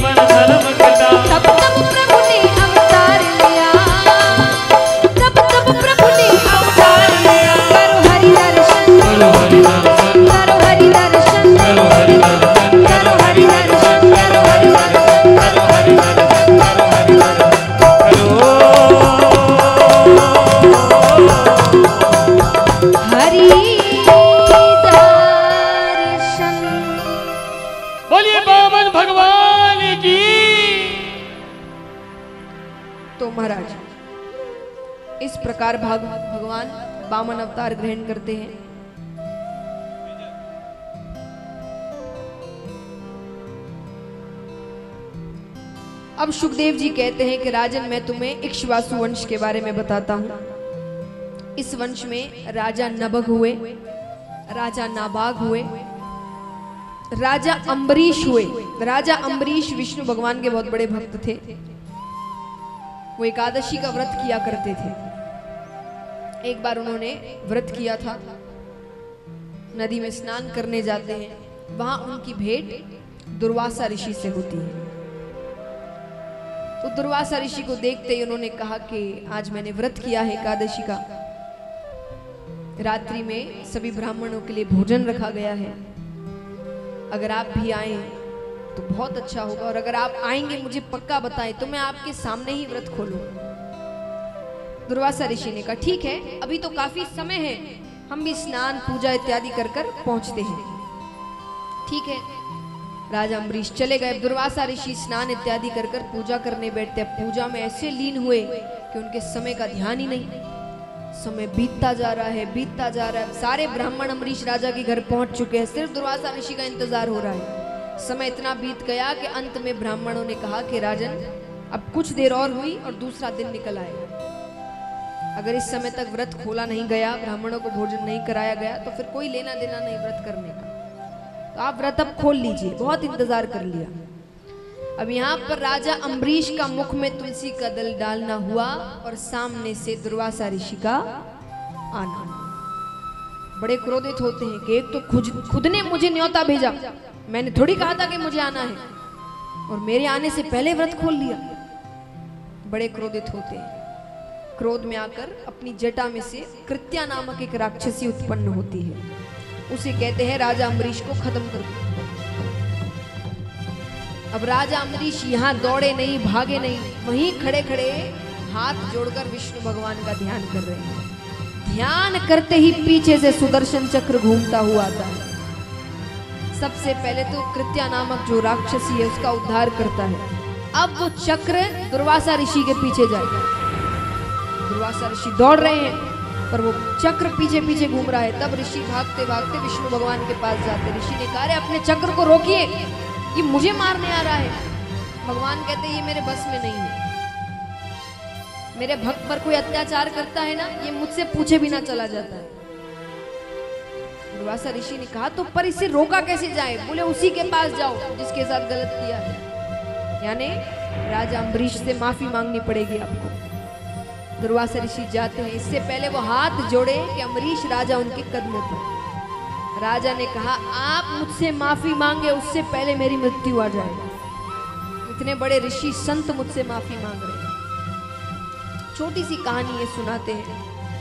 सुखदेव जी, अब सुखदेव जी ने जब ये कहानी सुनाई तो राजा परीक्षित को थोड़ी अटपटी लगी। क्यों? एक बात बताइए, कोई सफल व्यक्ति अगर आपको किसी के बारे में बताएगा कि उसे किसने इंस्पायर किया या किसको देखकर उन्होंने आगे बढ़ना सीखा? तो व्यक्ति उनसे भी बड़े ही होंगे, है ना? कोई सफल व्यक्ति का आइडल कौन होगा? उनसे बड़ा होगा, उनसे छोटा थोड़ी होगा, है ना? तो सुखदेव जी सबसे बड़े वैरागी माने गए कई वैरागी हुए पर सुखदेव जी जैसे वैरागी कोई नहीं बोले, एक बार जब सुखदेव जी वन की ओर जा रहे थे, उनके पिता वेद व्यास जी पीछे पीछे जा रहे थे, एक नदी में कुछ महिलाएँ स्नान कर रही थी। सुखदेव जी उस उम्र शायद 16 साल के आसपास की थी उस वक्त। तो सुखदेव जी जब सामने से गए, महिलाओं को कोई फ़र्क नहीं पड़ा, वो स्नान कर रही है। पीछे पीछे वेद व्यास जी वेद व्यास जी के आते ही सब डर गई, सब अपने कपड़े ढूंढ रही है। वेद व्यास जी ने कहा, मेरी उम्र इतनी बढ़ गई है, मैं पिता क्या तुम्हारे दादा के समान बन गया हूँ? मुझसे तुम्हें शर्म आ रही है। और मेरा पुत्र अभी जो 16 वर्ष का ही है, उसे देखकर तुम्हें किसी को शर्म नहीं आई। तो कन्याओं ने कहा, उनकी नज़र में कन्या हो, पुरुष हो, पशु हो, कोई कोई मायने नहीं रखता, सब सामान्य है। वो किसी को इस नज़रों से नहीं देखते कि ये लड़की है, वो लड़का है, ये ऐसा है, वो है सबको एक ही नज़रों से देखते हैं। वो सांसारिक नहीं है। आप सांसारिक। आपकी नज़रों को पता है कौन लड़की है, कौन लड़का है, कौन क्या है। इसीलिए हमें आपसे शर्म आई और उनसे नहीं। वो इतने बड़े वैरागी हैं। वो हर किसी को एक ही नज़र से देखते हैं। उनकी नज़र में कोई अंतर नहीं है किसी में। तो जो इतने बड़े वैरागी है, जिन्होंने वैराग्य लिया है, भगवान को प्राप्त किया है, वो अमरीश राजा, जो एक राजा है, सांसारिक जीवन में रह रहे हैं और सांसारिक जीवन के साथ साथ राजा का जीवन जी रहे हैं। सबसे ज़्यादा अगर ऐश्वर्य में कोई रहा है तो वो एक राजा है। तो वो एक राजा की तारीफ़ कर रहे हैं, राजा के बारे में बता रहे हैं। तो सुखदेव जी ने उन्हें उत्तर दिया कि वो अमरीश राजा के बारे में क्यों समझा रहे हैं और कैसे अमरीश राजा उनसे भी बड़े भक्त हैं। एक बात बताइए। जैसे मैंने आप सभी से सब्ज़ी का नाम पूछा था, मुझे कोई भी एक मिठाई का नाम बताइए। जो आप सबको पसंद हो या आपको लगे ये मिठाई तो यहाँ हर व्यक्ति खाता ही होगा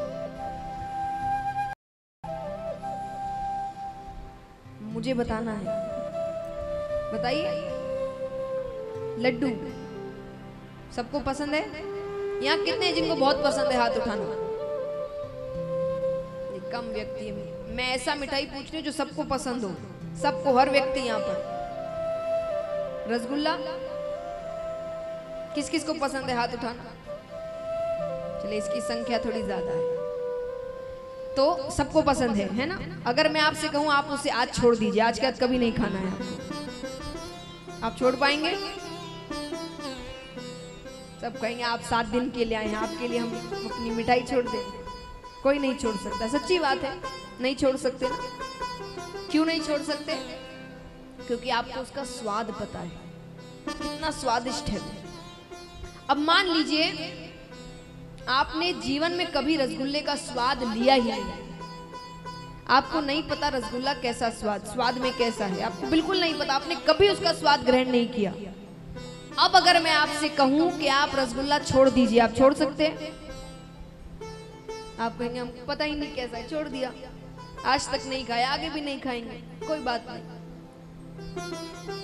तो अर्थ क्या हुआ इसका? सुखदेव जी ने कहा कि मैंने रसगुल्ला यानी संसार, मैंने इसका स्वाद कभी लिया ही नहीं। मैं गर्भ से निकलते ही वन की ओर चला गया था। मैंने संसार का स्वाद जीवन में कभी लिया ही नहीं। तब जाकर मैंने वैराग्य लिया या मैं वन में रहा, इन सबसे दूर रहकर मैंने भगवान को प्राप्त किया तो कौन सी बड़ी बात है? मैं तो अकेला था, वहाँ भगवान के सिवा और है ही क्या जंगल में?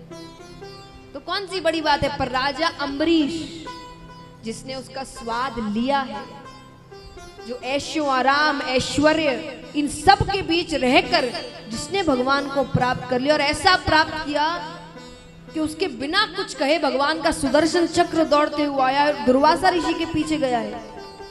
तो सुखदेव जी कहते हैं, वो मुझसे भी बड़ा भक्त यानी स्वाद लेने के बाद अगर आप किसी चीज़ का त्याग करते हैं तो यानी आपका त्याग ज़्यादा बड़ा है।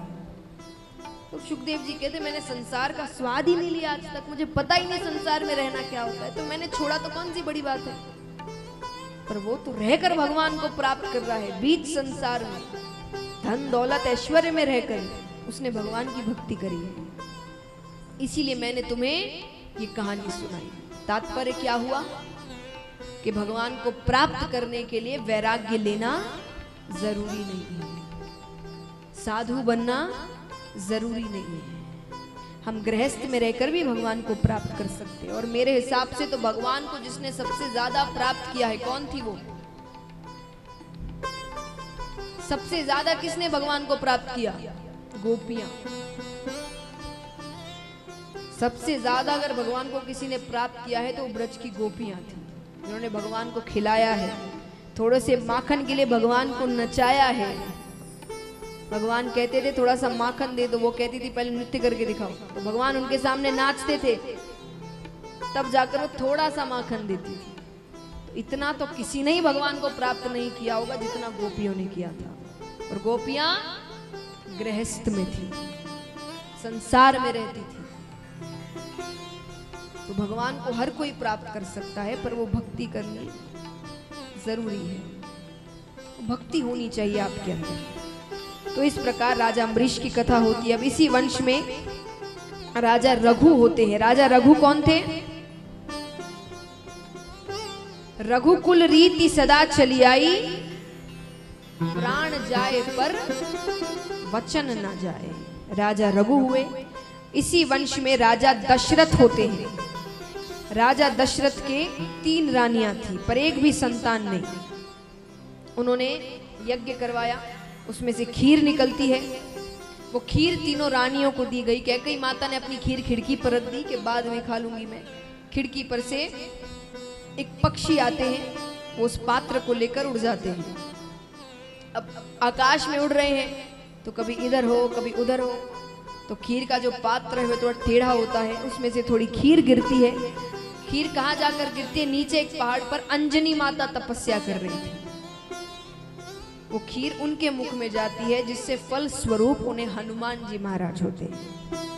हनुमान जी महाराज की। अब महाराज यहाँ पर सुमित्रा माता और कौशल्या माता ने अपनी थोड़ी थोड़ी खीर कैकई माता को दे दी। तीनों ने खीर खा ली तीनों गर्भवती होती है। अब धीरे धीरे समय बीत रहा है। सब देवी देवता बड़े प्रसन्न हैं। महादेव जी तो अयोध्या में घूम रहे हैं। उनके प्रभु आने वाले हैं भाई।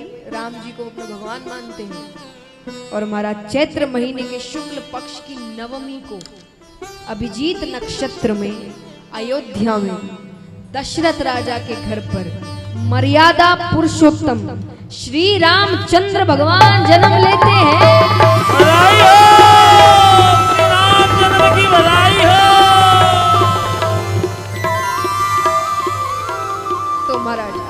बधाइयाँ बांटते हैं। हेलो जय श्री कृष्णा। अभी भगवान श्री रामचंद्र जी का जन्म हुआ है। कुछ ही समय पश्चात हमारे ठाकुर जी श्री कृष्ण जी का जन्म होगा। तो जिन भक्तों को बधाई स्वरूप भेंट देनी हो इस भजन में झोलियाँ चलेगी। आप अपने स्थान पर बैठकर वो भेंट उन झोलियों में डाल दें जय श्री कृष्ण। आइए ये भजन यहाँ अधिकतर भक्तों को आता होगा। तो जिन्हें आता है, वो मेरे साथ गाएँ, जिन्हें नहीं आता, वो मेरे बाद गाएँ, पर गाएँ ज़रूर। भय प्रकट कृपाला दीन कौशल्या। हर्षित में मुनि मन अद्भुत। आइए क्या बात है? जो बधाई बांटना चाहते हैं ठाकुर जी की उठाकर पूरे पूरे हाथ तालियाँ एक साथ। भय प्रकट कृपाला दीन दयाला कौशल्या हितकारी हर्षित महतारी मुनि मनहारी अद्भुत रूप विचारी।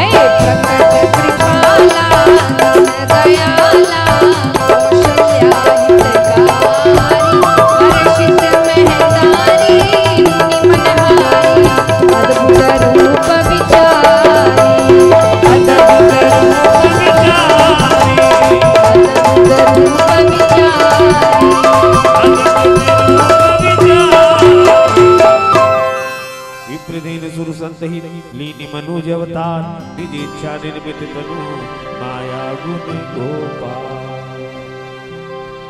तो महाराज, राम जी का जन्म होता है, सब बड़े प्रसन्न हैं।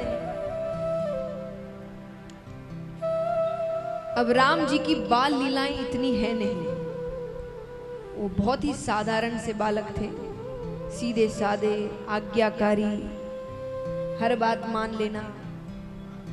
गुरु के साथ चले जाते हैं शिक्षा ग्रहण करने के लिए। फिर सीता माता के साथ विवाह हो जाता है। विवाह के बाद वापस अयोध्या लौटते हैं। उन्हें राज सिंहासन मिलने वाला होता है कि उससे पहले कैकई माता अपने दो वरदान मांगती है, यानी वचन मांगती है। दशरथ जी ने उन्हें कहा था कि दो वचन जब मांगना चाहो मुझसे मांग लेती है। कैकई माता ने क्या मांगा? हाँ? बताइए, कैकई माता ने क्या मांगा था वचन में? श्री राम को वनवास और भरत को राज सिंहासन। तो राम जी को वनवास होता है। वनवास में उनके साथ लक्ष्मण जी और सीता माता जाती हैं। वन में सीता माता का हरण हो जाता है। रावण उन्हें लेकर चले जाते हैं। फिर श्री राम युद्ध की तैयारियाँ करते हैं। सीता माता को पहले बहुत ढूंढते हैं। जब पता चलता है रावण के पास है युद्ध की तैयारियाँ होती है। इसी बीच भगवान की भेंट हनुमान जी महाराज से होती है। ठाकुर जी के परम भक्त भक्त शिरोमणि। एक सेवक, एक भक्त और भगवान का रिश्ता कैसे होता है? ये हमें हनुमान जी और श्री राम सिखाते हैं। एक भक्त के बिना भगवान कुछ नहीं है और भगवान के बिना भक्त कुछ नहीं है। ये दोनों एक दूसरे के लिए कितने ज़रूरी है, ये हमें श्री राम और हनुमान जी सिखाते हैं। रावण के साथ युद्ध होता है, युद्ध के बाद सीता माता को वापस लेकर आ जाते हैं। तो देखिए, ये मैंने आपको बहुत छोटे रूप में समझा दिया। अब चलते हैं उस कथा की ओर, जिसका सभी को इंतज़ार है। चंद्रवंश की ओर। चंद्रवंश की शुरुआत ब्रह्मा जी ने करी। कैसे? देखते कितनी आपको कथा याद रहती है। कैसे करी बताइए? हाँ? बताइए। दिन ये कथा आई थी? माता अनुसुईया। तीनों देवों के अंश से तीन पुत्र हुए थे माता को। भगवान के अंश से दत्तात्रेय भगवान हुए थे। महादेव जी के अंश से दुर्वासा ऋषि और ब्रह्मा जी के अंश से कौन हुए थे? चंद्रमा। चंद्रवंश की शुरुआत करी उन्होंने। फिर इसी वंश में परशुराम जी महाराज हुए। उग्रसेन जी हुए। उग्रसेन जी के नौ पुत्र हुए। सबसे बड़े पुत्र का नाम था कंस। देव की माता कंस की चचेरी बहन थी। लेकिन वो अपनी बहन से भी ज़्यादा प्यार करते थे उनसे। इतना प्रेम था उनको। विवाह योग्य होती है तो अपने मित्र वसुदेव के साथ वो देव की माता का विवाह करवाते हैं। विवाह पूरा हो गया। अब कहते हैं कि मैं अपनी बहन को ससुराल छोड़ने मैं जाऊँगा। चलिए कोई बड़ी बात नहीं, कई लोग उन्होंने कहा, मैं रथ चलाऊँगा। जिन्होंने जीवन में कोई कार्य नहीं किया, पर वो कहते, अपनी बहन को छोड़ने मैं रथ चला कर जाऊँगा. अरे बहन ने कहा, इसकी क्या ज़रूरत है? आप साथ चले, वही बहुत बड़ी बात है। नहीं, रथ चला कर जा रहे हैं कि बीच रास्ते में एक आकाशवाणी होती है।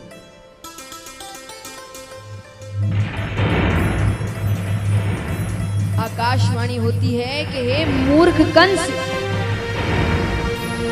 जिस बहन को इतने प्रेम से लेकर जा रहा है, उसी बहन की आठवीं संतान तेरा काल बने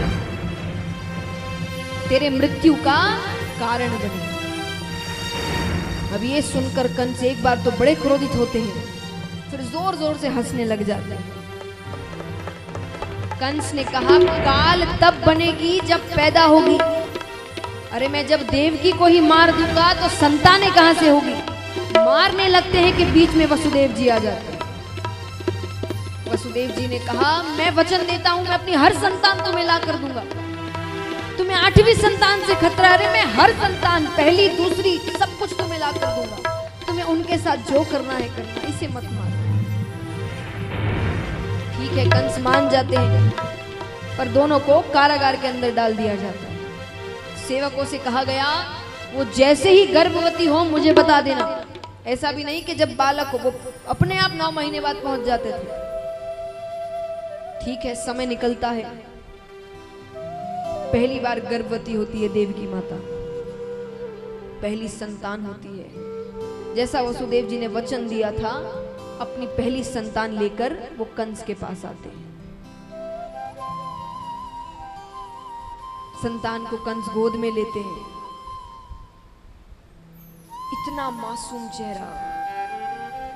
कंस के मन में ममता के भाव आते। इसने मेरा क्या बिगाड़ा है? अरे मुझे खतरा आठवीं संतान से मैं पहली को क्यों मारूं? कंस, बालक वापस लौटा देते हैं। इससे मुझे कोई खतरा नहीं, इसे ले जाओ। ये दृश्य नारद जी देखते हैं। नारद जी ने कहा, ये तो गलत है। क्योंकि कंस के मन में अगर ममता के भाव आ गए तो भगवान कैसे आएँगे? तब नारद जी कंस के पास आते हैं। नारद जी आते ही क्या कहते हैं? ज़ोर से कहिए, नारायण नारायण। कंस ने कहा, ये नारद जी कैसे आना हुआ? बोले, एक प्रश्न लेकर आया हूँ। कैसा प्रश्न? हाथ में उनके कमल का पुष्प था। उन्होंने कमल का पुष्प कंस को पकड़ाया। बोले, अब जरा बताना, इसकी पहली पत्ती कौन सी है और आठवीं पत्ती कौन सी? कंस गिनते हैं। फिर कहते हैं, ये कैसा प्रश्न है? पत्तियाँ हर पत्ती, पहली है, हर पत्ती आठवीं है। जहाँ से आप गिनती शुरू करो, आपके हिसाब से पहली और आठवीं हो गई। नारद जी ने कहा, उसी प्रकार, तुम्हें क्या पता उस कृष्ण ने कैसी गिनती की है? तुम्हें क्या पता उसने उल्टी गिनती की हो और पहली संतान ही आठवीं संतान निकले? कन समझ जाते हैं। फूल को फेंकते हुए कारागार में जाते हैं। देव की माता के हाथ से उस बच्चे को उठाते हैं। माता चरणों में गिर जाती है। अरे, आपने तो कहा था, इससे कोई खतरा नहीं है आपको। पैर की ठोकर मारते हुए कंस चले जाते हैं और उस बच्चे को बड़ी क्रूरता से मार देते हैं। पहली संतान, दूसरी संतान, तीसरी संतान, चौथी संतान, पांचवी संतान, छठी संतान, छह संतानों को कंस मारते हैं। सातवीं संतान को भगवान देव की माता के गर्भ से रोहिणी माता के गर्भ पहुँचा देते हैं। गर्भ गर्भ में अब सबको लगता है कि देव की माता गर्भ नष्ट हो गया। कई बार होता है ना, गर्भ के अंदर ही बच्चा नष्ट हो जाता है। तो सबको लगा कि गर्भ नष्ट हो गया, पर वो गर्भ रोहिणी माता के पास जा चुका था। वो थे बलराम जी। अब बारी आती है आठवीं संतान। वातावरण ही अलग है, मौसम ही अलग है। मानो सब इंतज़ार कर रहे, आइए प्रभु, आइए जल्दी, सावन का महीना आता है, ये मोटी मोटी बूंदे बरसती है। मानो ऐसी वर्षा किसी ने देखी ना हो इतने वर्षों में। मोर नृत्य कर रहे हैं, आइए प्रभु, जल्दी आइए। गौ माताएँ आवाज़ लगा रही आइए प्रभु, जल्दी हमें रक्ष, हमारी रक्षा करने वाला गोपाल कब आएगा? सब बड़े प्रसन्न है, देवी, देवता, सब नृत्य कर रहे हैं। भगवान पूरे नौ महीने नहीं लेते हैं। क्योंकि जैसे ही देव की माता गर्भवती होती थी, सेवक बता देते थे। तो नौ महीने, ठीक नौ महीने बाद कंस पहुँच जाते थे। तो इसलिए भगवान नौ महीने से थोड़ा पहले ही जन्म लेते तो महाराज मध्य रात्रि का समय है। खूब तेज वर्षा हो रही है। भगवान के आने का समय होने वाला है। सेवक अपने आप सो जाते हैं। दरवाजे अपने आप खुल जाते हैं। बेड़ियाँ अपने आप खुल जाती है। और मध्य रात्रि में, कृष्ण पक्ष में, रोहिणी नक्षत्र में, छोटे से, प्यारे से श्री कृष्ण जन्म लेते हैं।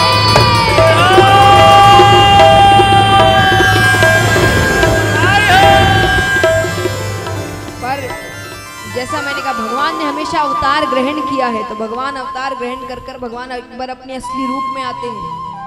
देव की माता वसुदेव जी को समझाते हैं कि समय नष्ट ना करो। मैंने कुछ समय के लिए सब कुछ किया है। जल्द से जल्द मुझे गोकुल लेकर जाओ। गोकुल में नंद बाबा और यशोदा मैया का घर है। यशोदा मैया के पास में कन्या सो रही होगी। उस कन्या को उठाना और मुझे वहाँ सुला देना। आइए, अभी कोई खड़े ना हो अपने स्थान से। सब नृत्य करेंगे। उत्सव होगा, लेकिन उत्सव का नाम क्या है? नंद उत्सव है। नंद उत्सव कहते हैं ना तो कब होगा? जब नंद बाबा के घर जाएँगे। तो अभी रास्ता दे सब बीच का रास्ता खाली रखे कि वसुदेव जी जल्दी जल्दी भगवान को लेकर जाएँ, नंदगांव पहुँचे। तो सब बैठे रहे, सिर्फ़ दर्शन करें। और बच्चे छोटे छोटा सा बच्चा है बार बार हाथ ना लगाए सब। तो दूर से दर्शन करें, सभी से निवेदन है।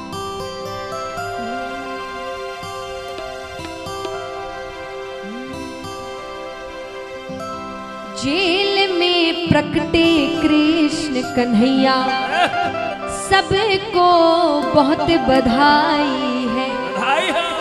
बहुत बधाई है सबको बहुत बधाई है।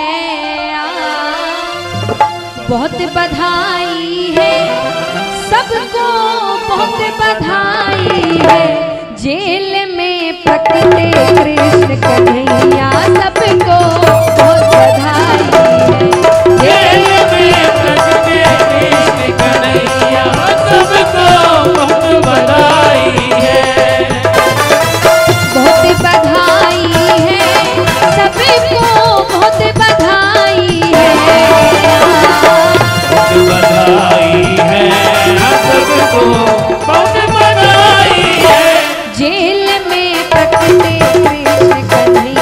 जेल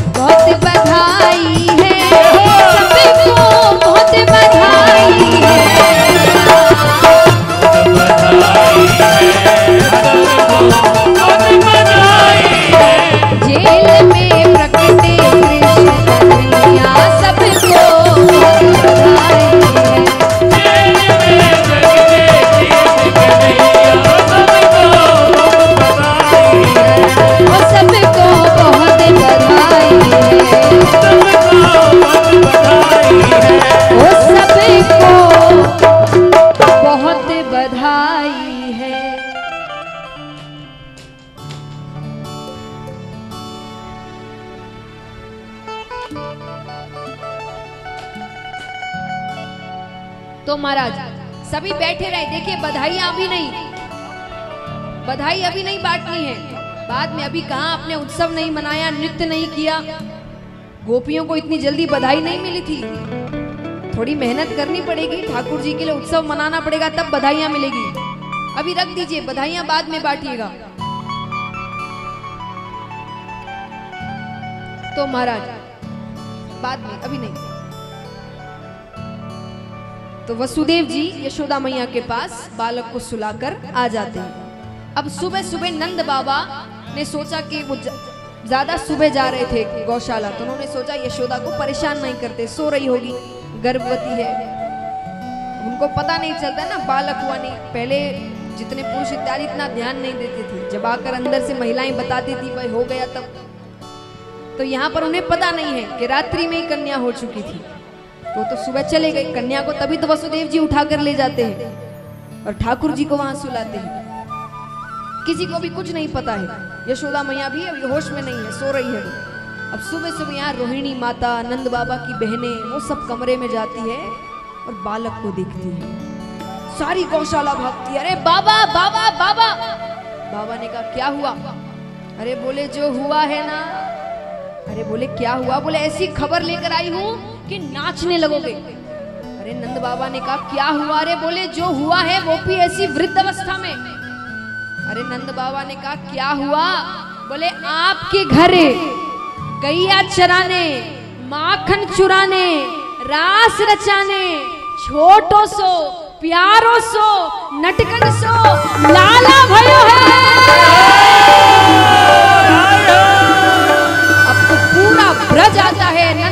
जो उत्सव मना रहे हैं। बधाइयाँ, फेंके ना, क्योंकि बहुत छोटे छोटे बच्चे भी हैं, चोट लग सकती है।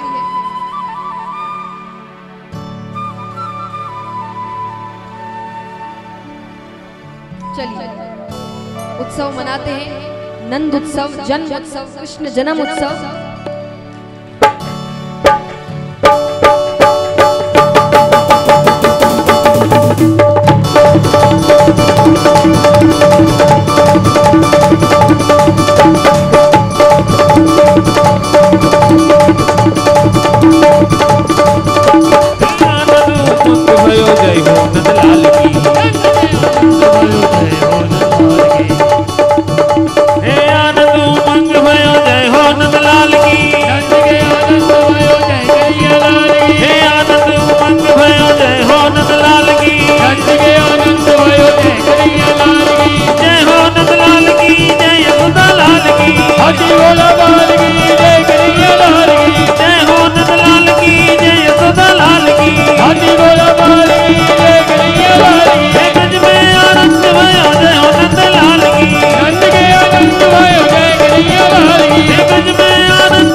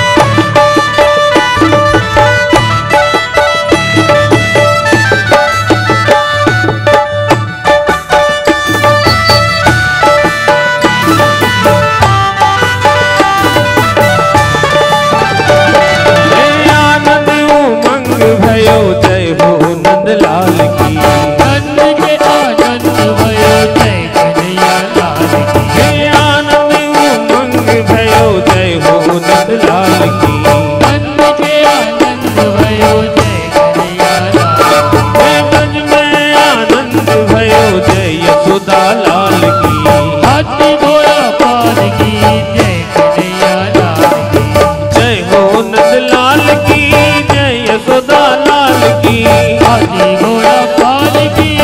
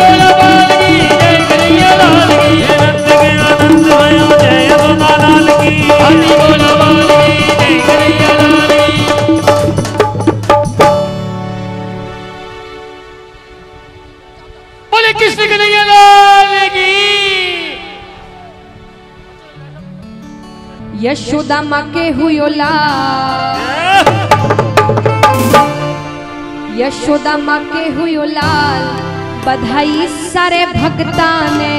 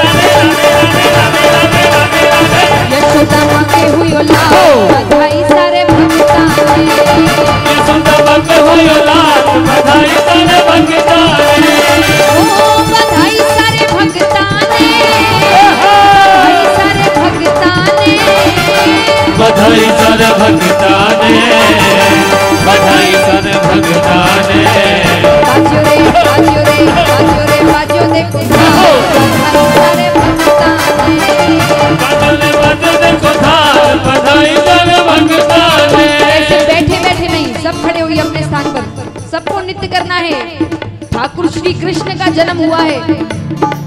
ऐसे शांति से नहीं वो स्वागत होता उनका। सबको नृत्य करना है। हाथ उठाकर पूरे पूरे तालियाँ जोरदार एक साथ।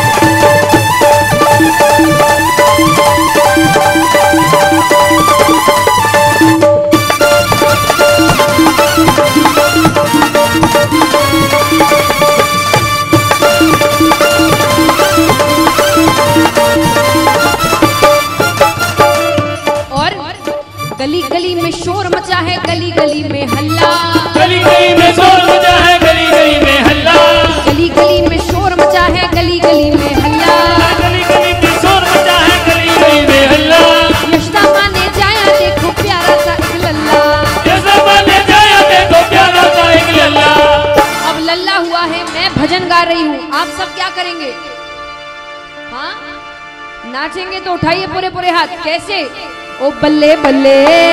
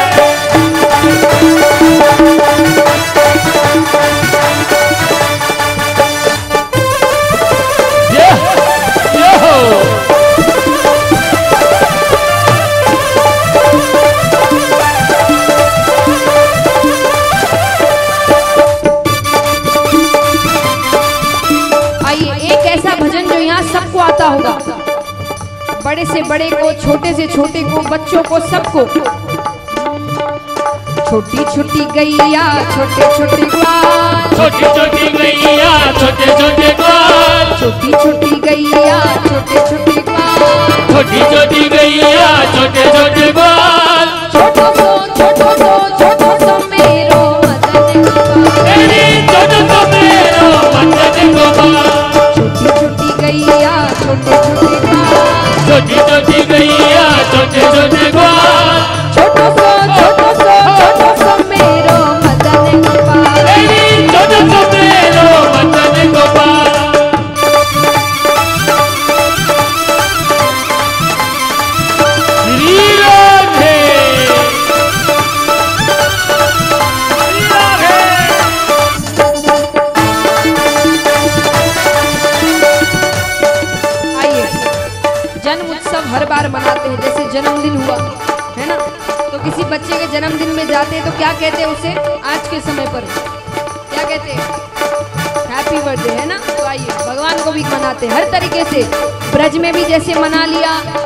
सांसारिक रूप में बल्ले बल्ले भी कर लिया। तो अब जैसे हर बच्चे को बोलते, वैसे भी करके देखते कैसे?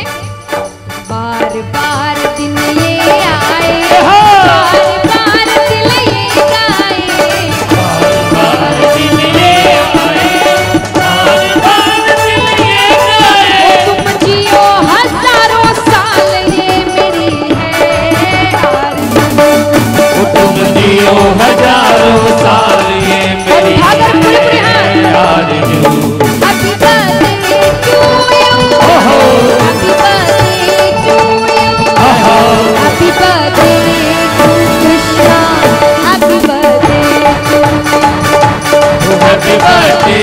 Happy birthday to you. Happy birthday to Krishna.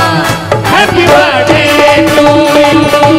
Happy birthday to you. Happy birthday to you. Happy birthday to Krishna.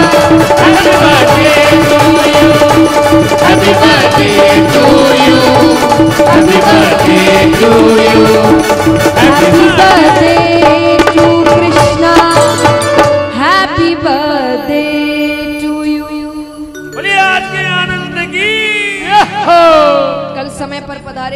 विशेष आकर्षण गोवर्धन लीला भगवान की कल भगवान की बाल लीलाएँ हैं तो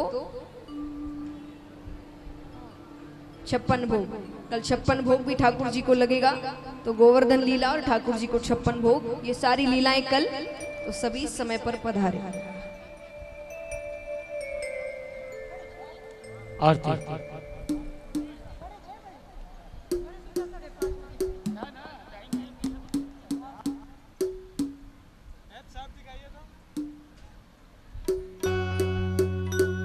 कपूर गौरम करुणावतारम संसार सारम भुजगेन्द्रहारम सदा वसन्तं हृदयारविन्दे भवम भवानी सहितं श्री भागवत भगवान की है। आरती पापियों को पाप से है। श्री भागवत भगवान की है आरती पापियों को पाप से